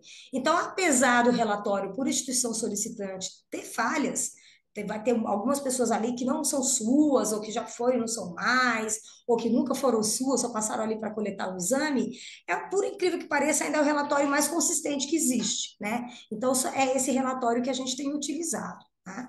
O relatório por UDM ele é disponibilizado apenas para as coordenações é, estaduais e municipal também, né, Joselita? É, mas o relatório por instituição solicitante é disponibilizado para todo mundo. Então, ele vai lá pegar todo mundo da instituição solicitante sai de Marília, vai ver todo mundo que fez exame ali no SAI de Marília e vai buscar essa pessoa é, pegando medicamento em qualquer local do país, tá? Se essa pessoa está em atraso de dispensa de medicamento acima de 100 dias, ele vai listar aquela pessoa como uma pessoa em abandono de, de tratamento, em interrupção de tratamento, tá? É... Então, isso aqui eu já falei, tá? E aí, quais são as situações que a gente vai encontrar? De novo, duplicidade de cadastro, né? Algumas vezes, aquela pessoa que realizou o exame lá em Marília tem dois cadastros no Ciclone. Um cadastro dele, ele começou lá em 2011, foi até 2015 e abandonou. Abandonou não, trocou, né? Fez um outro cadastro no Ciclone e a partir de 2015 ele está pegando medicamento através de um outro cadastro. E aí essa pessoa vai ter um par perfeito ali identificado no, no, no, no Ciclone e aquele primeiro cadastro não está identificado com ninguém, não está relacionado com ninguém. Então aquilo ali é uma duplicidade de cadastro. Essa é a situação das mais frequentes que tem. Eu vou falar o número só para vocês terem uma ideia aqui. Do CRT, a gente tem, no último relatório nosso, 1.100 pessoas por instituição solicitante em interrupção de trave. Eu achei de cara, assim, uma batida de olho rápido, 150 pessoas nessa condição, tá? É, a outra condição são pessoas que foram a óbito e que o ciclone não conseguiu identificar como tendo ido a óbito, né? Porque ele busca o cadastro de óbito dentro do próprio ciclone. Ele não faz cruzamento com SIM, né, com nada mais. Ele vai procurar dentro das bases cadastrais que ele tem, e a única base cadastral que lança o óbito é o ciclone. Então, por isso que é muito importante que a gente tenha um, também um processo de trabalho que, em última instância, as pessoas que foram identificadas a óbito sejam investigadas, né, com relação ao seu óbito, puxar a sardinha aqui para investigação de óbito, e também esse óbito seja sinalizado dentro do ciclone tá? Isso é muito importante. De novo, vou trazer aqui para a gente. Eu encontrei agora nos últimos 1.100, 96 pessoas no CRT que tinham ido a óbito e não estavam, é, o ciclone não estava enxergando, porque esse óbito não estava registrado no ciclone, tá? Outra situação são situações mais é, de, de, de fato são abandonos, né? Então, aqui no caso, um paciente não localizado, um paciente que está em abandono, mas não permite contato, um paciente foi transferido aqui dentro do nosso próprio país, então ele passou na última consulta e falou: Olha, eu estou indo embora de Marília, estou indo morar em São José dos Campos agora, né? Só que ele nunca chegou em São José dos Campos e não. É, e não está pegando a tarde, né? A última dispensa de tarde foi dentro de Marília. Então, esse paciente é uma, é um, uma transferência dentro do Brasil. É, a pessoa pode também ser, ter sido transferida para outro país, né? E aí, se eu, se eu não inativei o cadastro por mudança de país no Ciclone, ele vai continuar aparecendo como um abandono de tratamento do último local onde ele, onde ele realizou o exame. E a gente deixou aqui é, é, separado uma situação de privado de liberdade, mas porque a gente utilizou no passado, para realizar essa, é, é, é esse EAD, uma base, uma, era uma lista de condições que tinham sido listadas em outro projeto nosso, em que a gente identificava essas pessoas como de uma forma separada, pensando que essas ações poderiam ser diferentes, tá? É, importante disso tudo, algumas situações a gente resolve, são situações objetivas, o paciente morreu, o paciente foi para outro país, mas a grande maioria dessas situações são pessoas que de fato estão perdidas, é, elas não estão sendo localizadas, e uma coisa muito importante de dizer é que quanto mais a gente demora ir atrás das pessoas, menor é a probabilidade da gente localizar essas pessoas, tá? Ou quando localizar, localizar a pessoa tendo ido a óbito. Então, a gente tem que ter um, um, um, processo de trabalho bem desenhado para que essas pessoas sejam mais rapidamente possíveis localizadas. O Ciclone tem um relatório é, de atraso de dispensa, em que você pode definir qual é o limite de tempo de atraso de dispensa que você quer listar as pessoas. Então, eu posso listar pessoas que têm um dia de atraso de dispensa, dois dias, dez, trinta, qualquer coisa menos do que cem do que o próprio SINC dá, né? Então, isso é uma ajuda, né? Eu acho que o Ministério tem um projeto de, dentro do próprio SINC, colocar extratos de atraso de dispensa, então, pessoas com atraso de até 30, entre 30 e 60, 60 e 90 e acima de 90, para poder qualificar um pouco, inclusive, os processos de trabalho, né? Porque as ações, muitas vezes, também são diferentes, né? As pessoas que estão há menos tempo é, atrasadas na dispensa são pessoas que estão mais próximas da gente e que é mais fácil a gente localizar tá? E as condições, as situações às vezes também são muito pontuais, tá? É, outras questões que podem aparecer ali é, são pessoas que estão. Pra, isso aqui, né? Penalidade. Tá, isso aqui são, são, são, mais as condições que a gente vai é, sinalizar dentro do abandono, né? Então, eu posso ter uma pessoa é, que está como, como abandono de tratamento, e eu vou inativar com o cadastro indevido, é, pessoas que não são acompanhadas na unidade, pessoas em recusa de tratamento, então, às vezes a pessoa está em abandono de, segmento, de tratamento, mas ela não está em abandono de segmento, ela está próxima a gente, e ela, só que ela não quer voltar a tomar tarde, é uma decisão dela. Eu vou continuar seguindo aquela pessoa, mas eu vou sinalizar dentro da minha planilha interna do serviço que aquela pessoa recusa o tratamento. Isso mostra que a gente minimamente conseguiu localizar aquela pessoa, né? É, pessoas que foram localizadas e estão em processo de acolhimento é, para realização de consulta médica, pessoas que já realizaram consulta médica, mas ainda não iniciaram a TARV, reiniciaram a TARV, e pessoas que fizeram a consulta médica ou não, reiniciaram, tiveram a primeira dispensa de tarde, mas essa pessoa precisa continuar é, seguindo. Por quê? Porque é muito comum a pessoa ser convocada, reiniciar a tarde, pegar a primeira vez e, na sequência, abandonar o tratamento de novo. Isso não é desprezível, isso é um número muito grande. A gente tem que lembrar que ninguém nesse momento da vida, né, que a gente tem medicamentos bons, medicamentos eficazes, é, serviços bem estruturados, ninguém abandona o, a, o, tratamento à toa. As pessoas têm condições outras é, que favorecem essa, esse abandono de tratamento, a maioria das vezes condições é, ligadas às vulnerabilidades individuais e sociais dela. Então, o fato da gente conseguir que essa pessoa faça tem uma primeira dispensa, isso não garante que a situação está resolvida. A gente tem que continuar seguindo aquela pessoa. Pessoas que tiveram abandono no passado são pessoas que partem à frente, né? Já tem um risco muito acrescido para um novo abandono, novo abandono de segmento, tá bom? Então, assim, o relatório de carga viral e de abandono, eles têm a mesma lógica, então eles não são monitorados dentro do sistema, eles são monitorados dentro das suas próprias planilhas locais. E então, isso é uma situação que deve ser resolvida ao longo do tempo. O Ministério tem ideia de colocar esse monitoramento é, dentro do próprio sistema. Vocês têm alguma dúvida com relação ao abandono de, de, de tratamento, a interrupção de tratamento?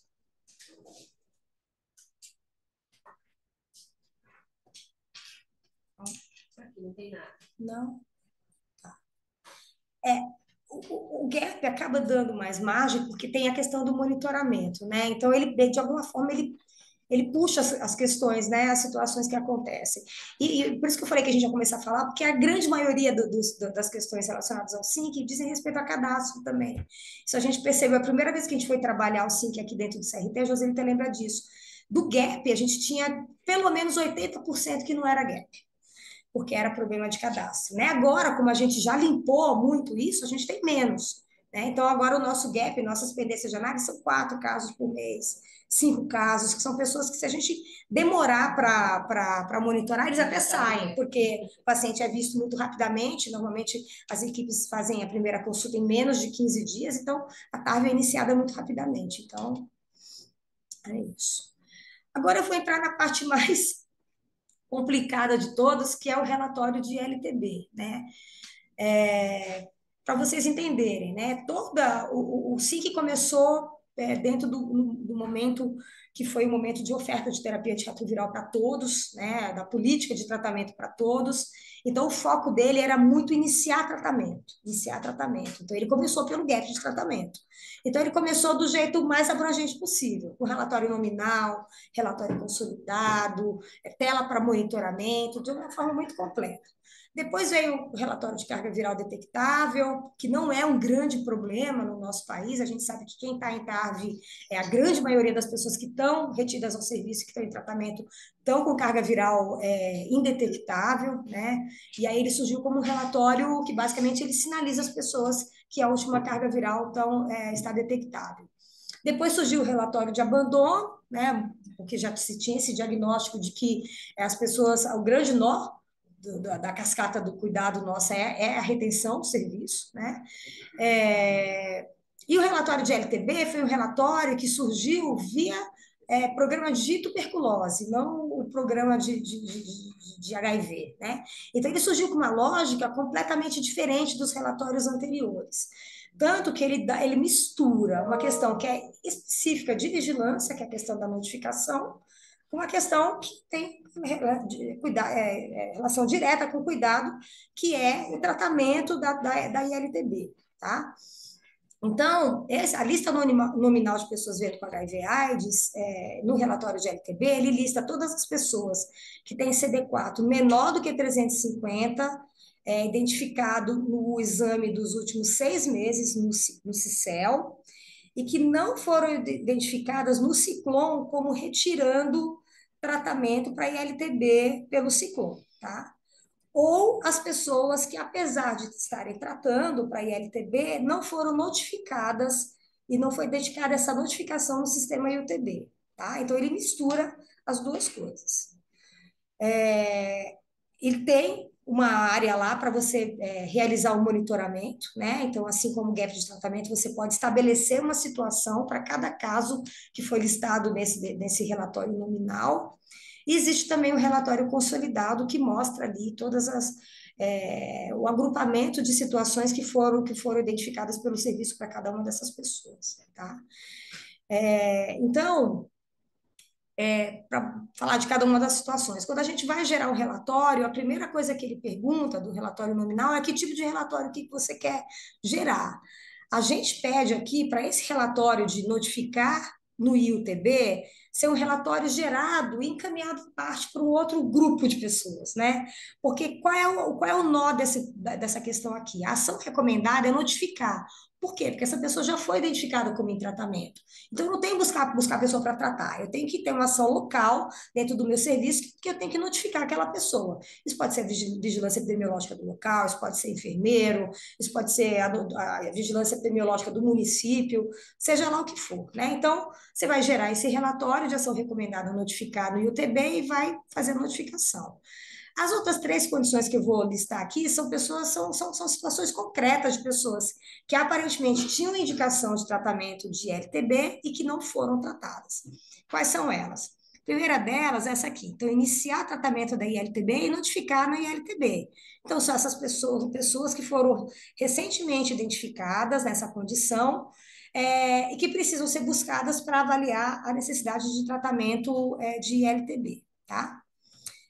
A outra são, são essa, essa terceira situação vai estar escrito como atualizar CD4. São pessoas que no passado já haviam sido identificadas dentro do SINC, então foram listadas no passado nessa situação anterior aqui, que é iniciar tratamento e notificar, só que estão há mais de quatro meses com situação pendente de análise. Então, elas apareceram ali, faz mais de quatro meses que elas apareceram, que elas apareceram no, no, no SINC e a, aparentemente o, o, o serviço ainda não fez nada tá?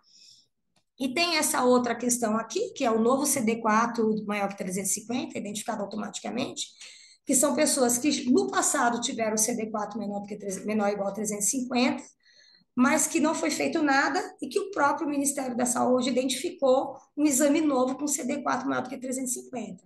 Isso mostra que a gente está tá demorando para fazer as coisas. Então, quanto mais gente a gente tiver nessa condição, mais o serviço demorou para olhar o passado, né? Pelo menos quatro meses, porque quando dá quatro meses ele entra aqui, né? É, e, por outro lado, em algumas situações você pode listar todas essas condições, mas como eu falei para vocês, o ideal é a gente, pelo menos a questão da notificação, a gente gerar separadamente, tá? E aí, quais são as condições que a gente pode encontrar? É, para as pessoas que só tinham, só estava pendente é, a notificação, eu vou lá, vou notificar e vou escrever paciente notificado no ILTB, vou monitorar dessa forma. Então, essa pessoa vai sair daquele gap do ILTB. Lembrando que o gap do, do ILTB não é só um gap de tratamento, é um gap de notificação também. Então, nesse caso que eu monitorei como notificado no ILTB, no IUTB, é porque esse caso a única ação recomendada era notificar, ele já vinha tratando. A outra situação que eu, posso, que eu posso me deparar são pessoas que tinham indicação de tratamento, mas eu olhei lá e ele já tratou no passado. Então, eu vou monitorar como o paciente já tratou o ILTB no passado. Então, esse caso vai ser retirado do gap do, do, do, do, do SINC do ILTB.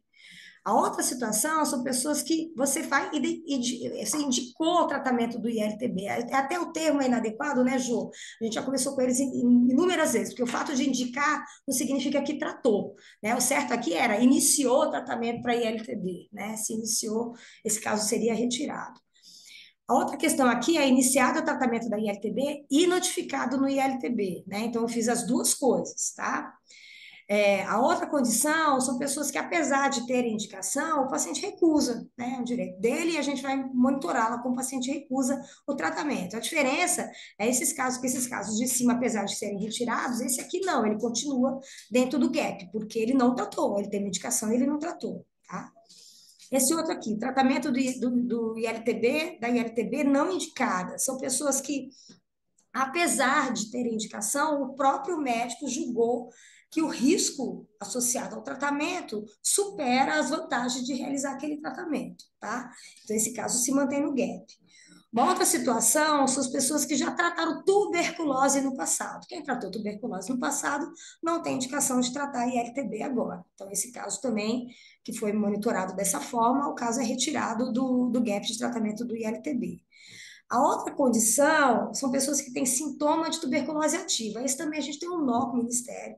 Nosso ponto de vista, esse não deveria é, ser retirado, porque não necessariamente ele tratou. Ele pode ter um sintoma que parece de TB e no final é ser uma pneumocistose, é ser uma pneumonia, né? Todo caso, todo, toda vez que você monitora o paciente como paciente é, com sintoma de TB ativa, ele tira o paciente do gap de tratamento, tá? É, se ele mantiver a CD4 menor do que 350, vai dele voltar, tá?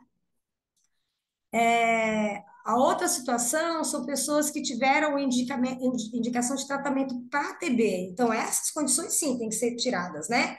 Então, a pessoa, você não vai fazer tratamento de LTB para alguém que tem indicação de tratamento de TB. Então, você vai monitorar lá como indicado o tratamento para TB e ele vai tirar essa pessoa do gap é, do, do ILTB. Pessoas que foram a óbito, a mesma situação, tá? Então, esse óbito, lembrando, ele vai ser informado no SINC, a gente tem que ir lá no Ciclone para informar esse óbito no Ciclone. Algumas vezes o próprio sistema identifica esse óbito, e aí ele vai lá dentro da, da tela do, do, do, do monitoramento de LTB do SINC, e ele mesmo, o próprio Ministério vai colocar óbito informado no, no SINC. No, botei no SINC, não, era no Ciclone é, óbito informado no ciclone, tá? Então, ele identificou automaticamente aquele óbito dentro da busca dele, no cruzamento de dados dentro do ciclone. É o segundo, tá aqui, ó. Não passou até o coisa? Passou. Passou, né? Já é o terceiro aqui, ó. Óbito informado no ciclone. O segundo aqui, eu, eu identifiquei com um óbito e eu lancei dentro do, do monitoramento do ILTB.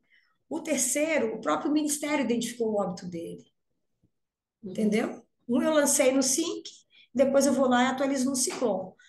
Só que às vezes eu não lancei, mas o Ministério já achou. Então ele, ele mesmo carimba essa, essa condição. Óbito informado no Ciclone. Tem uma outra condição que aquele paciente não é acompanhado dentro daquele serviço, ele só fez exame de CD4 dentro daquele serviço e ele é seguido na rede privada e quem vai ter que lidar com toda a questão da LTB vai ser o médico da rede privada, tá? Então, nesse caso aqui, ele se mantém no gap, do ILTB, mas a, e o nosso papel é fazer o contato com, com esse médico para informar dessa necessidade. Algumas vezes esses casos eles vão ter mudado de status. Pode ser que esse caso, por exemplo, o cara tenha realizado um exame na rede privada, um novo exame, e o CD4 dele é de 500, 600, é acima de 350. Então, nesse caso, ele vai sair da indicação do tratamento da ILTB, tá? Outra questão são pessoas que moram é, ou foram transferidas para fora do país, que a gente tem como sinalizar lá, é, o novo exame de CD4 identificado na rede privada, que nesse caso o Ministério não consegue identificar, isso é mais uma informação trocada entre os serviços, e o novo CD4 identificado automaticamente pelo Ministério da Saúde. Quando o Ministério mensalmente faz essa, esse cruzamento de dados, esse CEL Ciclone, o sistema IUTB, quando ele identifica essas pessoas dentro do, é, com o novo CD4 acima de 350, ele automaticamente ele carimba essa pessoa como o CD4 acima de 350 e tira ele do gap do tratamento da ILTB, tá? É... Alguém, de, não sei, alguém de vocês começou a trabalhar o relatório de LTB? Acho que isso é uma coisa importante, porque normalmente a gente é o último relatório que a gente trabalha com todo mundo, né, dentro das nossas capacitações. Tem uma pergunta na sugestão aqui. Sim. Tá. A Ângela de Francisco Morato está dizendo que no IFTB não tem opção paciente em tratamento e outro serviço. Tem um aqui, ó, que é aqui, ó, é, ele coloca como rede privada, né? Na verdade, ele não coloca como transferido. É, quer ver? Quer ver? Deixa eu ver aqui, monitoramento da ILTB.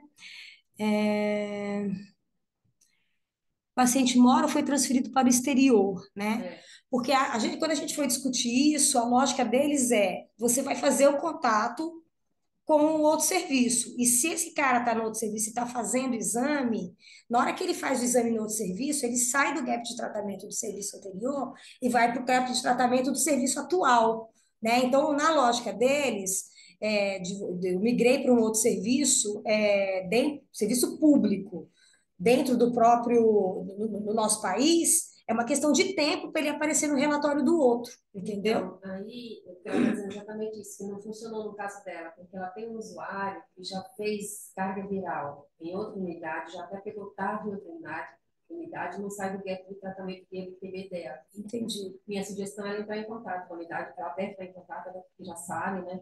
E perguntar se ele já fez o tratamento da IFTP, qual o resultado CD4, e ela mesma atualizar o sistema, É. certo? Ou orientar já para eles é, o tratamento lá, enquanto o Ministério não arruma esse relatório mais recente, conforme a, a Simone falou, eles estão arrumando algumas coisas, mas enquanto não arruma, a gente precisa cuidar do usuário, né?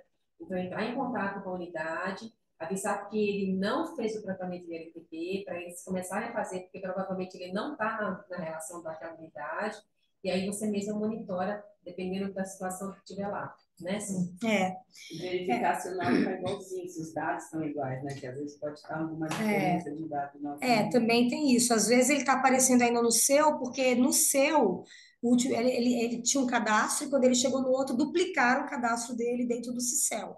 Né? E aí ele, é, e, e às vezes no outro, quando duplicaram o cadastro, ele já nem estava mais com indicação. Não sei, Então, pode ser uma tenha situação, saído é. dela. É, eu te sugiro, inclusive, se você puder mandar esse caso para a gente, porque a gente consegue investigar mais a fundo aqui. É, a gente consegue entender melhor o que está acontecendo, até porque se for um problema também lá dentro do Ministério, desse relacionamento entre as bases, a gente consegue ter um exemplo para mostrar para eles. Toda vez que vocês identificarem alguma coisa que estiver muito fora da curva, vocês mandem para a gente. Porque toda queixa que a gente faz, eles falam, preciso de um nome, eu preciso investigar, para ver se é uma questão dos scripts lá, para gerar os, os relatórios, ou se é uma questão de duplicidade, e aí a gente consegue investigar. Então, sinta-se à vontade para mandar para a gente, é muito bem-vinda, porque é assim que a gente melhora o SINC, é levando as condições, investigando o que está acontecendo. Tem um ensaio aqui sugerindo que o sistema podia conversar com os exames do IGRA, né, dos IGRAs reagentes que são enviados pelo IAL.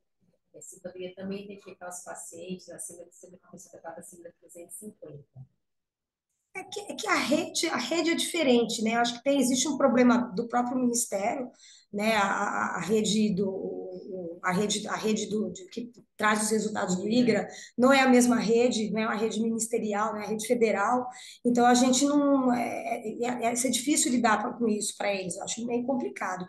E todo caso, essa condição aqui é uma condição que é mais é, é mais nevrálgica, né? É o ponto mais nevrálgico, porque as pessoas com CD4 mais baixo são as pessoas que têm um risco muito maior de adoecer pela tuberculose, né? Estava procurando uma solução para identificar É. casos acima de 350 também, né? Será gravado. Bem, Tiveram fazendo feliciado conversas com os médicos já está solicitando CD4 para aqueles que têm indicação de atualizar CD4 independente dos médicos. é. Só uma coisa para esclarecer, esse termo atualizar CD4 é uma coisa que a gente também é, não gosta. Na verdade, não é que eu preciso do outro CD4, é que eu preciso tratar a ILTB. Porque essa pessoa não tem um CD4 novo, né? Então, eu não vou esperar o CD4 novo para tomar uma decisão se eu vou tratar ou não vou tratar. A questão é, faz mais do que quatro meses que ele foi identificado com CD4 baixo e até agora eu não fiz nada. Tem chance desse CD4 estar maior? Tem, pode ser que não esteja. Então, é, em vez da gente solicitar um CD4 novo, esperar por um CD4 novo, às vezes esse tempo de achar o paciente, solicitar um CD4 novo, coletar e esperar o resultado, é o tempo que você tem para iniciar um tratamento da ILTB com base no, no, no CD4 anterior, né? Então, é, a gente, quando eles soltaram isso, a gente demorou para entender, né, João? Mas o que, que, é isso? É, né, não fazia muito sentido para a gente, porque, na verdade, a questão é, ou eu trato com base no último CD4 que eu tenho, ou eu não trato com base no último CD4 que eu tenho. E o último que eu tenho é aquele lá. Tem tempo? Tem tempo. Mas paciência, né? A gente tem que lidar com o que a gente tem, porque às vezes aguardar é um tempo que, que é perdido, né? Não, e muitos até são do CD4 recente, porque ele, ele traz para cá aquele CD4 que não foi realizado nos últimos quatro meses. E a orientação é a cada seis meses, né? Para você pedir o CD4.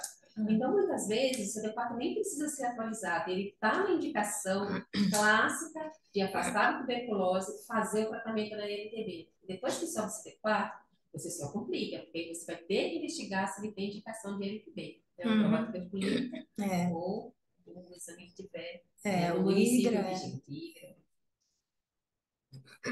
Acho que é isso, né? É. Então, assim, quando a gente vê as pessoas nessas últimas duas situações, né? O CD4 automaticamente identificado acima de 350 e esse atualizar CD4, a gente fica muito incomodado, porque o ideal é que a gente busque essas pessoas no começo. A pessoa tem indicação, eh, que é esse primeiro ponto aqui, né? Iniciar o tratamento de LTB e notificar no, ILT, no, no é, a gente quer tentar lidar com a maior, a maior possibilidade possível de pegar as pessoas nessa fase, tá? Outra pergunta aqui, assim, se o paciente em tratamento para ILTB descontinuar o tratamento, suspende o tratamento, continua até completar os seis meses, como colocar no SINC?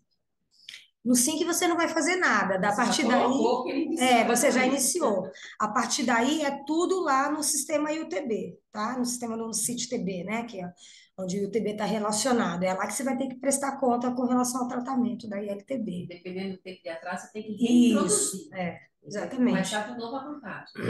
Exatamente. Então, tudo depende da- do tempo que, você, que o paciente ficou em atraso de tratamento. Tem a carga de americana também que está colocando que lá no serviço, CD4 maior de 200 e com carga viral baixa, o médico acompanha e não indica tratamento de LTB. É, não é a recomendação, né? A Está fora do PCD. Tá fora da é, a, a- a recomendação é, é tratar todas as pessoas que não têm contraindicação ou, ou que não realizaram tratamento de tuberculose e LTB no passado, se o CD4 for menor que 350. Vou contar a situação para vocês. E Eu isso tenho não paciente- tem a ver com carga viral, tá? Não tem nenhuma carga viral e nem com tempo de segmento também. Eu tenho, eu tenho um paciente meu que tem, está comigo há mais de 20 anos. E ele, ele tinha o, CD, o último CD4 dele era de 800, em 2015, quando a gente parou de fazer CD4, de acordo com a recomendação do Ministério, de pessoas que têm CD4 acima de, de 350, com carga viral indetectável, a gente não repete CD4, né? Duas, duas, dois, carga, dois CD4 acima de 350 com carga viral indetectável, não precisaria mais repetir CD4. E em 2015 ele tinha 860. E aí, agora em 2022, ele apareceu para mim com um nódulo hepático. Ele é um ex-etilista, apareceu um nódulo hepático, carga viral sempre indetectável, mega aderente ao tratamento, e eu resolvi fazer um novo, um novo, um novo exame para ele. E o exame dele, ele veio com CD4 de 280, 300 e pouco. Eu vou tratar a LTB dele. Ele está sob risco, né? A imunidade dele baixou, a gente sabe quanto menor CD4, maior o risco de desenvolver uma tuberculose latente. Eu não vou fazer o exame dele, porque independente do exame dele, ele tem indicação. Então, é isso. Não, não tem a ver com tempo de tratamento, não tem a ver com carga viral. Tem a ver com risco de adoecimento. Essa pessoa está sob risco. Minimamente por conta do CD4, né? Tanto é que se a pessoa tem viragem de PPD ou tem um IGRA reagente com CD4 alto e carga viral indetectável, a gente também precisa tratar, né? A ILTB. Tem um aqui também falando de adesão. Caso o paciente tratamento de LTB descontinuar o É tratamento, porque a Ju falou, eu acho. É, não tem. Foi.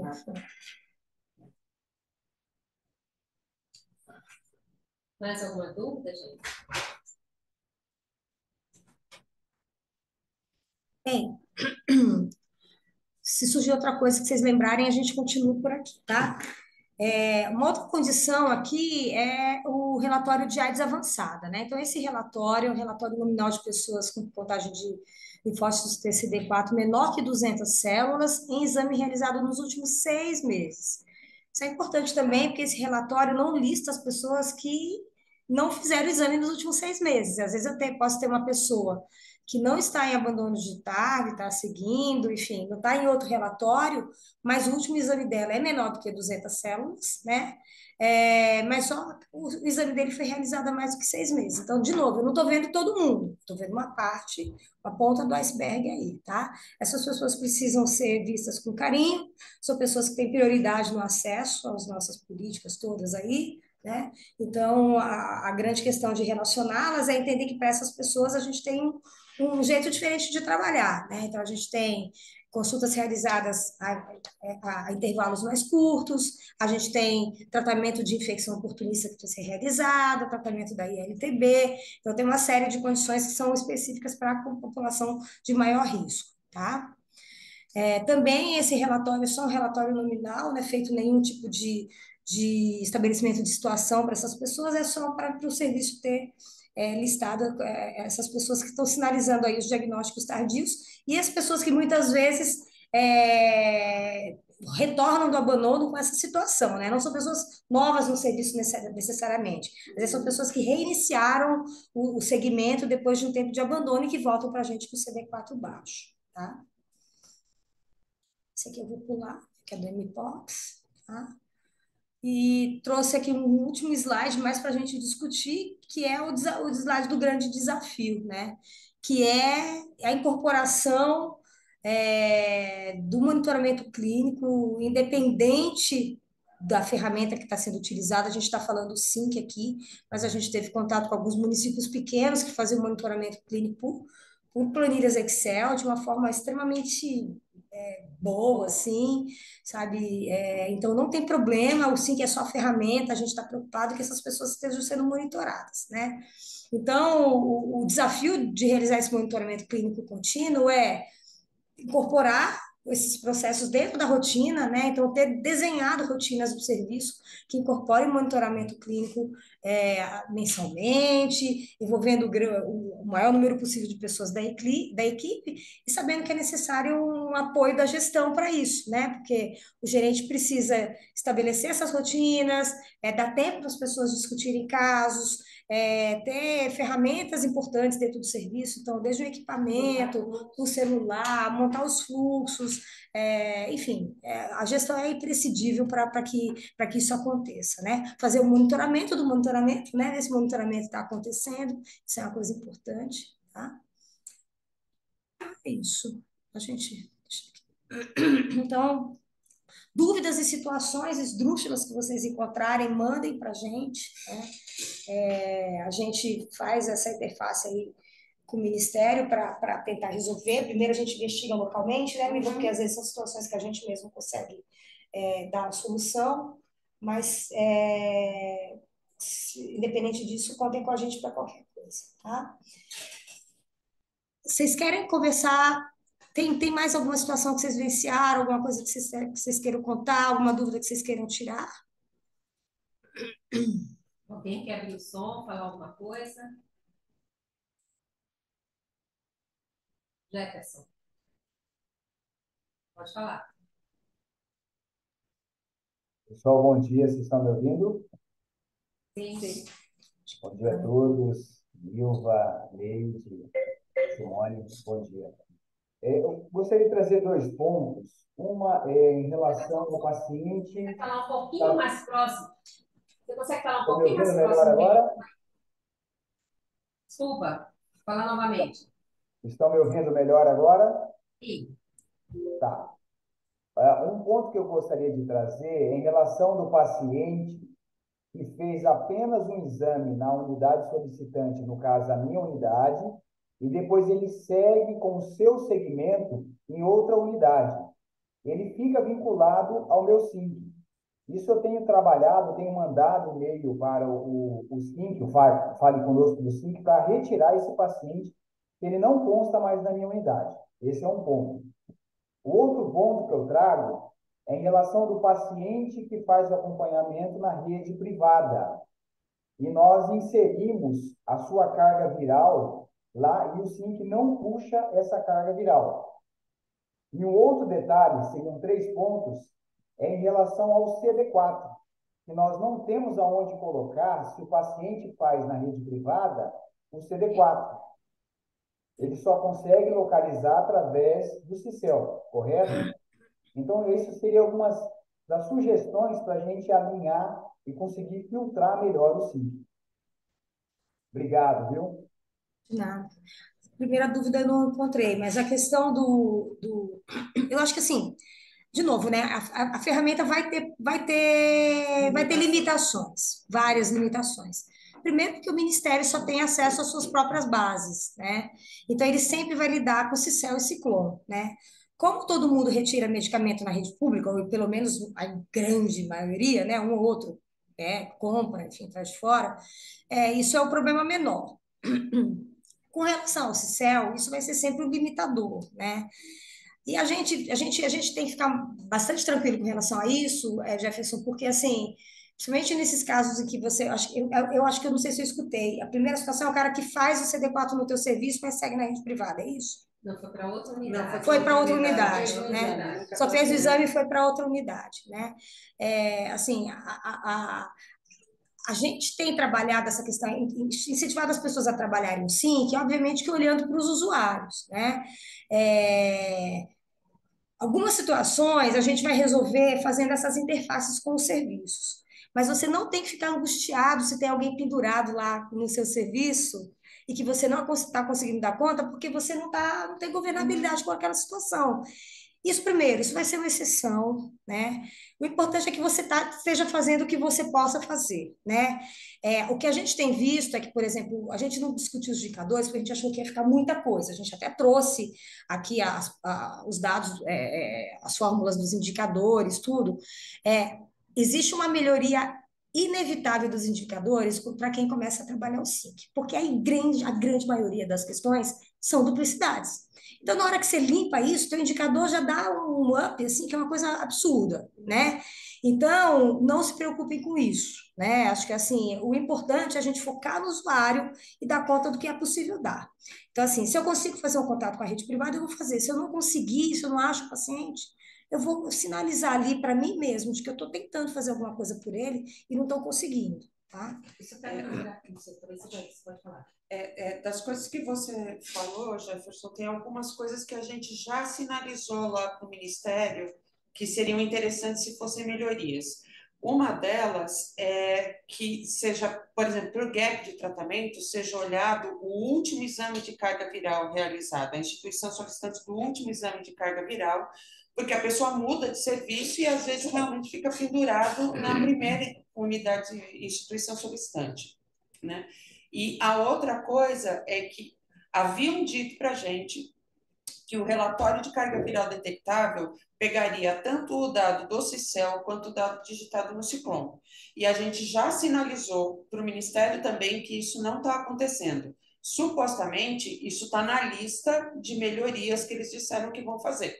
Né? Então, a gente também já, já identificou esses problemas que você colocou. É, é agora, até lá, porque é angustiante a gente estar tá com o usuário no nosso banco, eu sei uhum. que é, é, como ele está pegando o medicamento que você é da rede privada e ele está informando o resultado para o farmacêutico, ele está colocando no sistema, pega lá e aí você mesmo insere no, na sua própria planilha, na sua própria planilha. Vai lá no, no SIM e monitora. Ele deve ter trocado medicamento alguma coisa, deve estar indetectável. Se estiver indetectável, você vai lá e monitora como indetectável.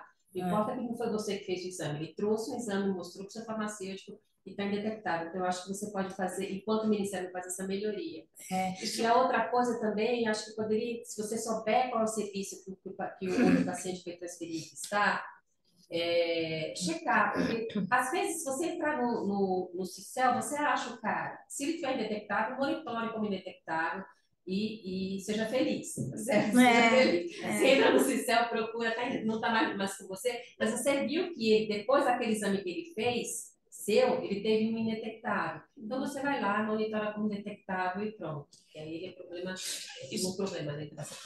Isso que a Joselita está falando é bem importante, né? Primeiro, eu, eu, eu, eu, tive que sair um pouquinho, então desculpa se eu estiver repetindo alguma coisa que a Simone já falou. É, a, o gap de tratamento a gente tem a possibilidade de monitorar, então a gente fica um pouco mais aliviado, porque vai vendo o número mudando no próprio site, né? no, no, é, No sistema. no, no próprio sistema. É, e uma coisa que a gente orienta no, com relação ao gap é assim: entrei no, no relatório de dispensa do Ciclone, vi que essa pessoa está tirando remédio em outro lugar, pode monitorar como já em tratamento, não faz mal que não é na sua unidade. tá? Os outros incomoda porque você não tem como tirar a pessoa daquela lista que está ali no SINC. Mas, gente, se vocês estiverem fazendo monitoramento, se estiverem conseguindo resgatar as pessoas, e se o processo de trabalho estiver instituído, esquece o número que está no SINC. Tá? O importante é o controle que vocês têm é, da- melhoria do processo de assistência. É, E aí vocês falam para a gente também, para de me encher o saco que eu estou fazendo, tá? Não, a, a gente até conversou com a Marilisa, porque dentro do, do, do programa de qualificação, o, é, é fácil a gente ver o trabalho das pessoas dentro do gap de tratamento, porque os números vão estar mudando e a gente vai estar vendo isso. O, o- a carga viral detectável, o abandono e o restante, a LTB também dá para ver, mas a carga viral detectável e abandono são duas questões muito importantes, a gente não vai enxergar, mas talvez o monitoramento disso tenha que ser pelas planilhas locais de vocês, né? É, porque o que a, a única coisa que a gente vai conseguir ver impacto vai ser as limpezas, né? Então, os óbitos que vocês registraram, aquela pessoa vai parar de aparecer, e os cadastros inativados, porque o paciente mudou para outro país. Todo o restante do trabalho é um trabalho que, de fato, baixando o relatório, a gente não consegue enxergar. Mas vocês sabem, eu acho que o mais importante é isso. É vocês saberem e a gente, de repente, né, Joselita? Porque eu acho que entra como. É, essas mudanças dos indicadores entram para o selo, né? Entra Pra proteção do selo. Então, na hora de fazer esse cálculo desse indicador, talvez seja interessante a gente utilizar as planilhas de vocês, né? É, e É. enxergar esse, essa conta. Eu só insisto na, na, na utilização do SIM, na correção dos bancos, porque é ele, é- é- são esses sistemas que o próprio Ministério utiliza para Uhum. posicionar o Brasil mediante as metas 95, 95, 95. Uhum. E a limpeza ela só pode vir de baixo para cima. É. O Ministério não tem condição de, de fazer essa limpeza, essa unificação, né? Uhum. E tem até outra pergunta aqui, mas eu já vou, acho que Jefferson Só- só- ok. Só falar uma última coisa, assim, é, o Ministério promete que tem uma aba de monitoramento, né? E aí, em algumas, em algumas situações, é, a gente vai ter que sempre olhar. Por exemplo, é diferente do GAP, né? O GAP, a pessoa, ela, ela só inicia a terapia antirretroviral uma vez, porque ela, né? O GAP é nunca ter iniciado.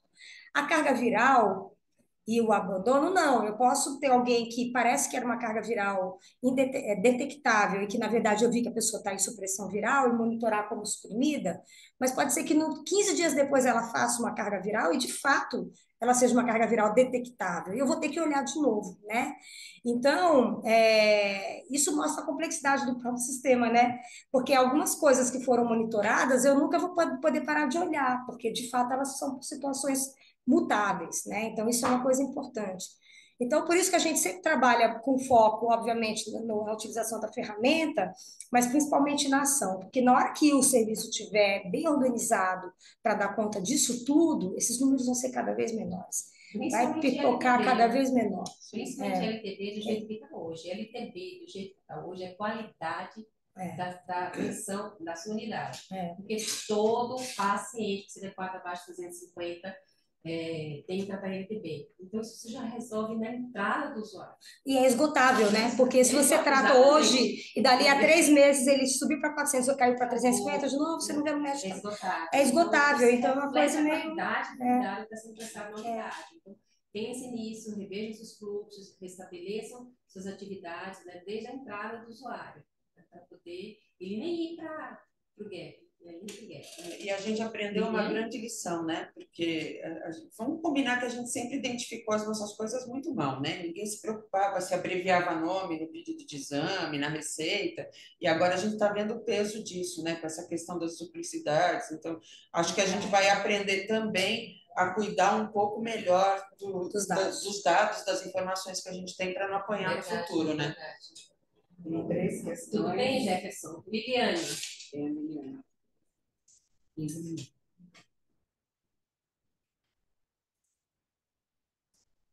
Eliane? Isso, Capivareira, tá bem. É, bom dia, tudo bem? Bom dia, bom? É, a Carol, que é a farmacêutica, ela está com uma dúvida, aí a gente gostaria de estar tá verificando aí. É, a gente gostaria de perguntar mais a gente em relação é, às duplicidades, né? Como que a gente resolve sem é, ter perda de dados do paciente, né? É, Uma pergunta que eu É. entendi. Vocês É? Você está falando. Porque assim, ó, às vezes a gente, quando vai puxar essas duplicidades, aparecem várias duplicidades, vários cadastros do Cicel e alguns do Ciclone.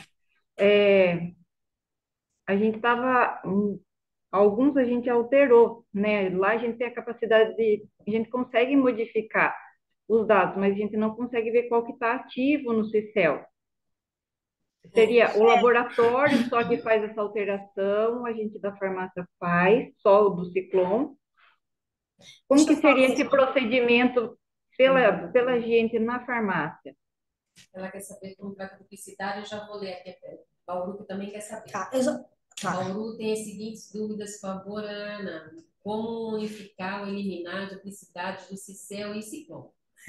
Bem, Isso. eu vou começar. Teve uma coisa que a gente não falou aqui, né? De um tempo para cá, paciente novo que chega para fazer cadastro, na hora no, no Ciclone, que a gente imagina que o primeiro cadastro é no Cicel, que a pessoa primeiro faça exame, faça exame para depois é, retirar medicamento, né? Quando ele chega na farmácia para fazer a primeira dispensa dele, e a farmácia digitar o nome dele, o próprio sistema busca na base, base cadastral aquela pessoa, e se ele já existir dentro do Cicel, ele traz aquele cadastro e fala: é esse aqui? E eu posso aproveitar aquele cadastro para começar a usar as dispensas do Ciclone. Isso, infelizmente, foi feito só agora, né? Quisera isso ter acontecido, nascido desse jeito. Se tivesse nascido assim, a gente não teria tanto problema. Né? Então, né, esse é o primeiro ponto para você liberar, é, limpar, evitar as duplicidades. Então, sempre aproveitar o cadastro para trás que te forneceram. Só que se isso já está acontecendo, eu acho que é aquilo que a gente já falou aqui, não sei se chegou um pouco depois, Liliane. Então, assim, a gente sempre, dentro do Ciclone, vocês estão dentro da farmácia, vocês vão pegar o dado correto do paciente e vão manter todos os dados, todos os cadastros do Ciclone dele idênticos, tá? E para a farmácia, para farmácia não, para o laboratório, cadastro do CICEL, você vai encaminhar esses dados para o laboratório fazer a correção de lá e deixar idêntico ao seu cadastro do Ciclone. Depois, uma vez feito isso, a farmácia vai solicitar para o Ministério a unificação das dispensas. Então, a partir que o, do momento que o Ministério fizer isso, se ele tivesse tido três cadastros no passado, se ele unificou as dispensas, vai aparecer um cadastro só com tudo das três, agrupados numa sequência lógica por, data, tá?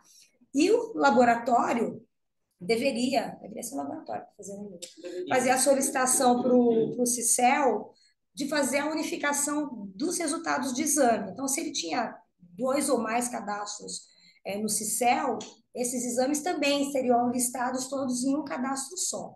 Esse é o grande desafio do, do da, da, nosso agora, é isso. É desse jeito que a gente vai ter ideia. Quantos pacientes têm tratamento, quantos pacientes vivem com HIV no país, quantos pacientes né, uhum. é, realizam o exame na rede pública. Hoje a gente não sabe. A gente tem ideia e a gente percebe que é muito menos do que a gente imagina, porque tem muita duplicidade nas bases, né? Nós tivemos um caso aqui, nós tivemos um caso aqui que com a unificação do CICEL, é, perdeu-se o histórico da carga viral. Mas não é para perder. Então, é, então esse e caso... aí, nesse caso, nesse caso, o que, que a gente faz? Quem fez a unificação? Oi? O ciclone. Quem foi que fez a unificação? Não, não mas então. quem fez? Aonde? Porque se, se, se, a própria unidade ela não pode fazer a unificação porque perde. Simone falou sobre isso, perde o histórico. Essa unificação ela tem que ser solicitada para o Ministério. O, a, a, unidade ela nem pode inativar, nem pode tentar fazer. O que, que, ela, o que, que a unidade tem que fazer? Ela tem que pegar os dois cadastros do ciclone e deixarem idênticos. Mesmo nome de mãe, mesmo nome do pai, mesma data de nascimento, mesma cidade de nascimento, são quatro. Nome da mãe, cidade de nascimento, Cidade. Cida- cidade e E data nome de nascimento. É. O nome dele. E o CPF? Certo? E o CPF. CPF. Deixa os dados iguais e pega esse e-mail e manda para o Ministério. Ministério, olha, fulano e fulano são a mesma pessoa. Por favor, unifique esse cadastro. Toda vez que a unidade faz isso na própria unidade, ele, ele perde o histórico. Ele perde o histórico. E como é que pode solicitar para o Ministério agora eh, resgatar essa, eh, esse histórico? Eu não sei, acho que pode mandar um e-mail para o Ministério da mesma forma e dizer que o histórico foi, foi perdido para eles reativarem e unificarem. É que a questão é assim, então, ó, farmácia mexe no cadastro do Ciclone, Ok. laboratório mexe no cadastro do Cicel. Se em algum momento a gente fizer essa, a- essa para não correr risco, deve ter acontecido isso. Você, sem querer, acho que vocês mexeram no cadastro do Cicel. E aí vocês devem ter apagado um cadastro que tinha alguma coisa importante ali, entendeu? Ou inativaram, uma coisa que você precisa ver, esse mês de mexer, você não inativou. Não, inativou. Não foi inativado, foi só pareado. Mas então, só que o que aparece para a gente é assim, naquele, naquela data da coleta, aparece, vamos por assim, a carga viral sumiu, mas o CD4 está. Então, porque provavelmente o cadastro que estava pendurado, onde estavam penduradas as cargas virais, foi algum cadastro que você mexeu para alguma coisa, entendeu? Por isso que o mais provável é que tenha inativado. E aí, na hora que você reativar, apareça. Pode ser. É, Pode ser. é, é, Mas dá uma olhada. gente. Você quer mandar esse nome para gente? Manda para É, gente. Manda pra gente, por favor. A gente uma vasculha. olhada. Tá, É. eu mando através da Goer, então, pelo zap da Goer. Isso que a Simone está falando, é, da, da questão, e a Joselita, né, de não inativar, não fazer nada, não ser deixar o cadastro idêntico, é muito importante, gente. Aqui no CRT, a gente tem é, a sorte, digamos assim, de ter o laboratório executor dentro da própria unidade. E há algum tempo, ter... Alguém só fecha o microfone um pouquinho, por favor. É, e aí, há um tempo atrás, num ímpeto de boa vontade, um funcionário do laboratório, em vendo as várias duplicidades que tinha no CICEL, resolveu dar uma limpada no banco. Então, aqueles cadastros que não tinham é, exame recente, ele começou a inativar. Os pacientes sumiram do ciclone. Entrou um monte de gente no nosso abandono. Foi assim um caos. E o reverso é verdade. Quando a farmácia começa a inativar, também gera um caos. É. Então, a gente até conseguiu ir atrás, reverter alguns casos, não foram todos. Então, isso é muito importante. Não inativem cadastro de jeito nenhum. Tem uma pergunta aqui de Bauru. É, em caso de mudança de identidade de gênero, quando ocorre troca de nomes no CPF, ou também em caso de troca de nome por casamento e divórcio, como proceder? É, você, no Ciclone, você vai entrar no cadastro vigente da pessoa e fazer a troca, tá? E, e isso fica registrado no histórico de mudanças. Quanto à questão do, do CICEL, você deve enviar para o laboratório uma cópia do documento, por exemplo, né, o, o RG, é, junto com a solicitação de exame pedindo correção do nome. Não é para abrir outro cadastro. Isso é a, a, população trans a gente também tem tido muito problema, porque ao invés de pegarem o cadastro anterior e corrigir o nome, estão abrindo na rotina um novo cadastro agora com o nome corrigido. E isso está gerando um monte de duplicidade. Então, é, acho que ficou claro, né? Uhum. Qual é o procedimento? A Ângela, do CTA Francisco Morato, pergunta se, se, se é possível, se ela consegue colocar a vacina monkeypox que foi realizada, ou sistema em algum momento busca. Não. Aquela, aquela lista era mais uma lista de apoio, para as pessoas saberem quem buscar, né? Então, é só isso. Todo, todo registro é feito dentro do, do da, da, da, da, Como é que chama aquela coisa de vacina? É, do, é, enfim, é o sistema de, o sistema de vacina lá da, da, da, do Estado, tá? Então é feito ali, então, do Estado, não, Ministério. Então aquela lista é uma lista de apoio. A enfermeira Angélica pergunta se vocês vão ter acesso às planilhas do Excel somente da unidade. Somente a unidade. Se nós, é, é, se nós temos acesso, a gente consegue enxergar o Excel de, do, do, estado inteiro, a gente consegue ver as planilhas do estado inteiro. Só que a gente não, do sim, só que a gente não vê, obviamente, o tratamento que vocês fazem para para carga viral detectável, para abandono de tratamento. A gente só consegue ver o que vocês conseguem, o que vocês fazem de monitoramento diretamente no sistema, que é o gap de tratamento e o, e o ILTB, tá? Então, o que, eu, o que eu conversei aqui um pouco atrás é que é importante que essas planilhas de carga viral detectável e do abandono vocês estejam trabalhando ativamente para a gente poder, no futuro, né, se a Marilisa for fazer alguma auditoria com relação ao, ao programa, vocês terem um instrumento para mostrar, né, mostrar o trabalho de vocês. Tá? Mais alguma coisa, gente? Não esqueça de assinar a lista de presença. Então, Você mandou lista? não esqueça de assinar a lista de presença. Olha, à tarde, a gente vai repetir às três da tarde, entre três e cinco. Se ficou algum, algum ponto, é, vocês estão convidados novamente, não tem nenhuma restrição, tá? Podem participar de novo. É, E essa coisa da duplicidade, ela é complexa mesmo. Quem não entendeu, quem não sabe, pode mandar um e-mail. A gente tem um passo a passo, pode enviar. É complexo, é frustrante, né? Porque a gente quer limpar e não consegue limpar É. por causa da duplicidade. Mas, gente, é um trabalho de formiguinha. A gente começou a fazer isso agora e a primeira coisa que a gente tem que aprender é não continuar repetindo o erro. É. Então, puxa o cadastro do CICEL, não, não fica criando vários cadastros porque é mais fácil, né? Utiliza o cadastro que está lá, corrige o que está lá. Aos poucos isso vai melhorar, mas nesse momento a gente tem que ter paciência, que é o que a gente tem na mão, né? Um dado ainda sujo. é. Muito bem, se ninguém mais nada, eu só quero agradecer a a presença de todo mundo, a participação de todo mundo. A Mil e a Simone por terem vindo e dedicado, que bom que vocês estiveram aqui né, com a gente. E vocês podem se despedir já. E, e é isso. Bom, tchau, gente. Se alguém voltar de tarde, estaremos aqui de novo. Lembrando que assim, é, nós somos, eu e Simone, somos a referência para o monitoramento clínico, né, para a questão do SINC, então a gente está sempre disponível, seja por e-mail, por telefone, tá? Então, contem com a nossa ajuda. É isso, então estamos de tarde aqui.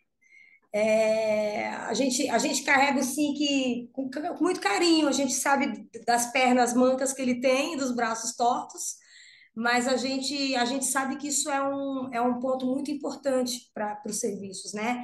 O monitoramento clínico é o que vai fazer a diferença daqui para frente, né? A gente, durante muito tempo, a gente se apoiou em medicamentos melhores, a gente quer remédio melhor, a gente quer isso, a gente quer aquilo, a gente já equacionou esse problema, né? A gente tem medicamentos bons, fáceis de tomar, as pessoas que, se infectam são as mesmas, né? Então, isso também, também não mudou. Então, agora a mudança está aqui dentro da gente, está dentro do serviço. E uma delas, o que, do que é dentro daquilo que a gente pode fazer, é ter o olho, é vigiar melhor as pessoas que estão escapando aí para as lacunas, né? Então, é, de novo, né, como falou, a, é, a gente quer que tudo sempre fique melhor, a gente entende as limitações, mas a gente também aposta muito nisso, porque eu não sei se alguém de vocês é do passado, mas era inviável fazer monitoramento clínico antes do SINC, a gente não tinha nada. Imagina o CRT, que tem 8 mil pessoas ativas em segmento, a gente não tinha a menor, menor noção de como a gente ia buscar as pessoas, a gente percebia quando elas estavam chegando mal, doentes, muito doentes. Agora a gente pode prevenir muita coisa. Então, faça um bom uso da ferramenta, porque ela é importante, tá? Pode ser chato no começo, mas com o tempo vai ficando cada vez melhor. Então, obrigada, gente. Tchau, tchau. tchau. Até depois. É, tchau, tchau. Desculpa, tio. À tarde eu não vou estar com vocês. Você eu tive que sair. Ah, tá. Tá, você não tá? Não, é, é, Está aberto. é, pera lá, deixa eu... Está aberto. Agora fechou. A gente não vai falar mal de ninguém, não. A gente não vai falar mal de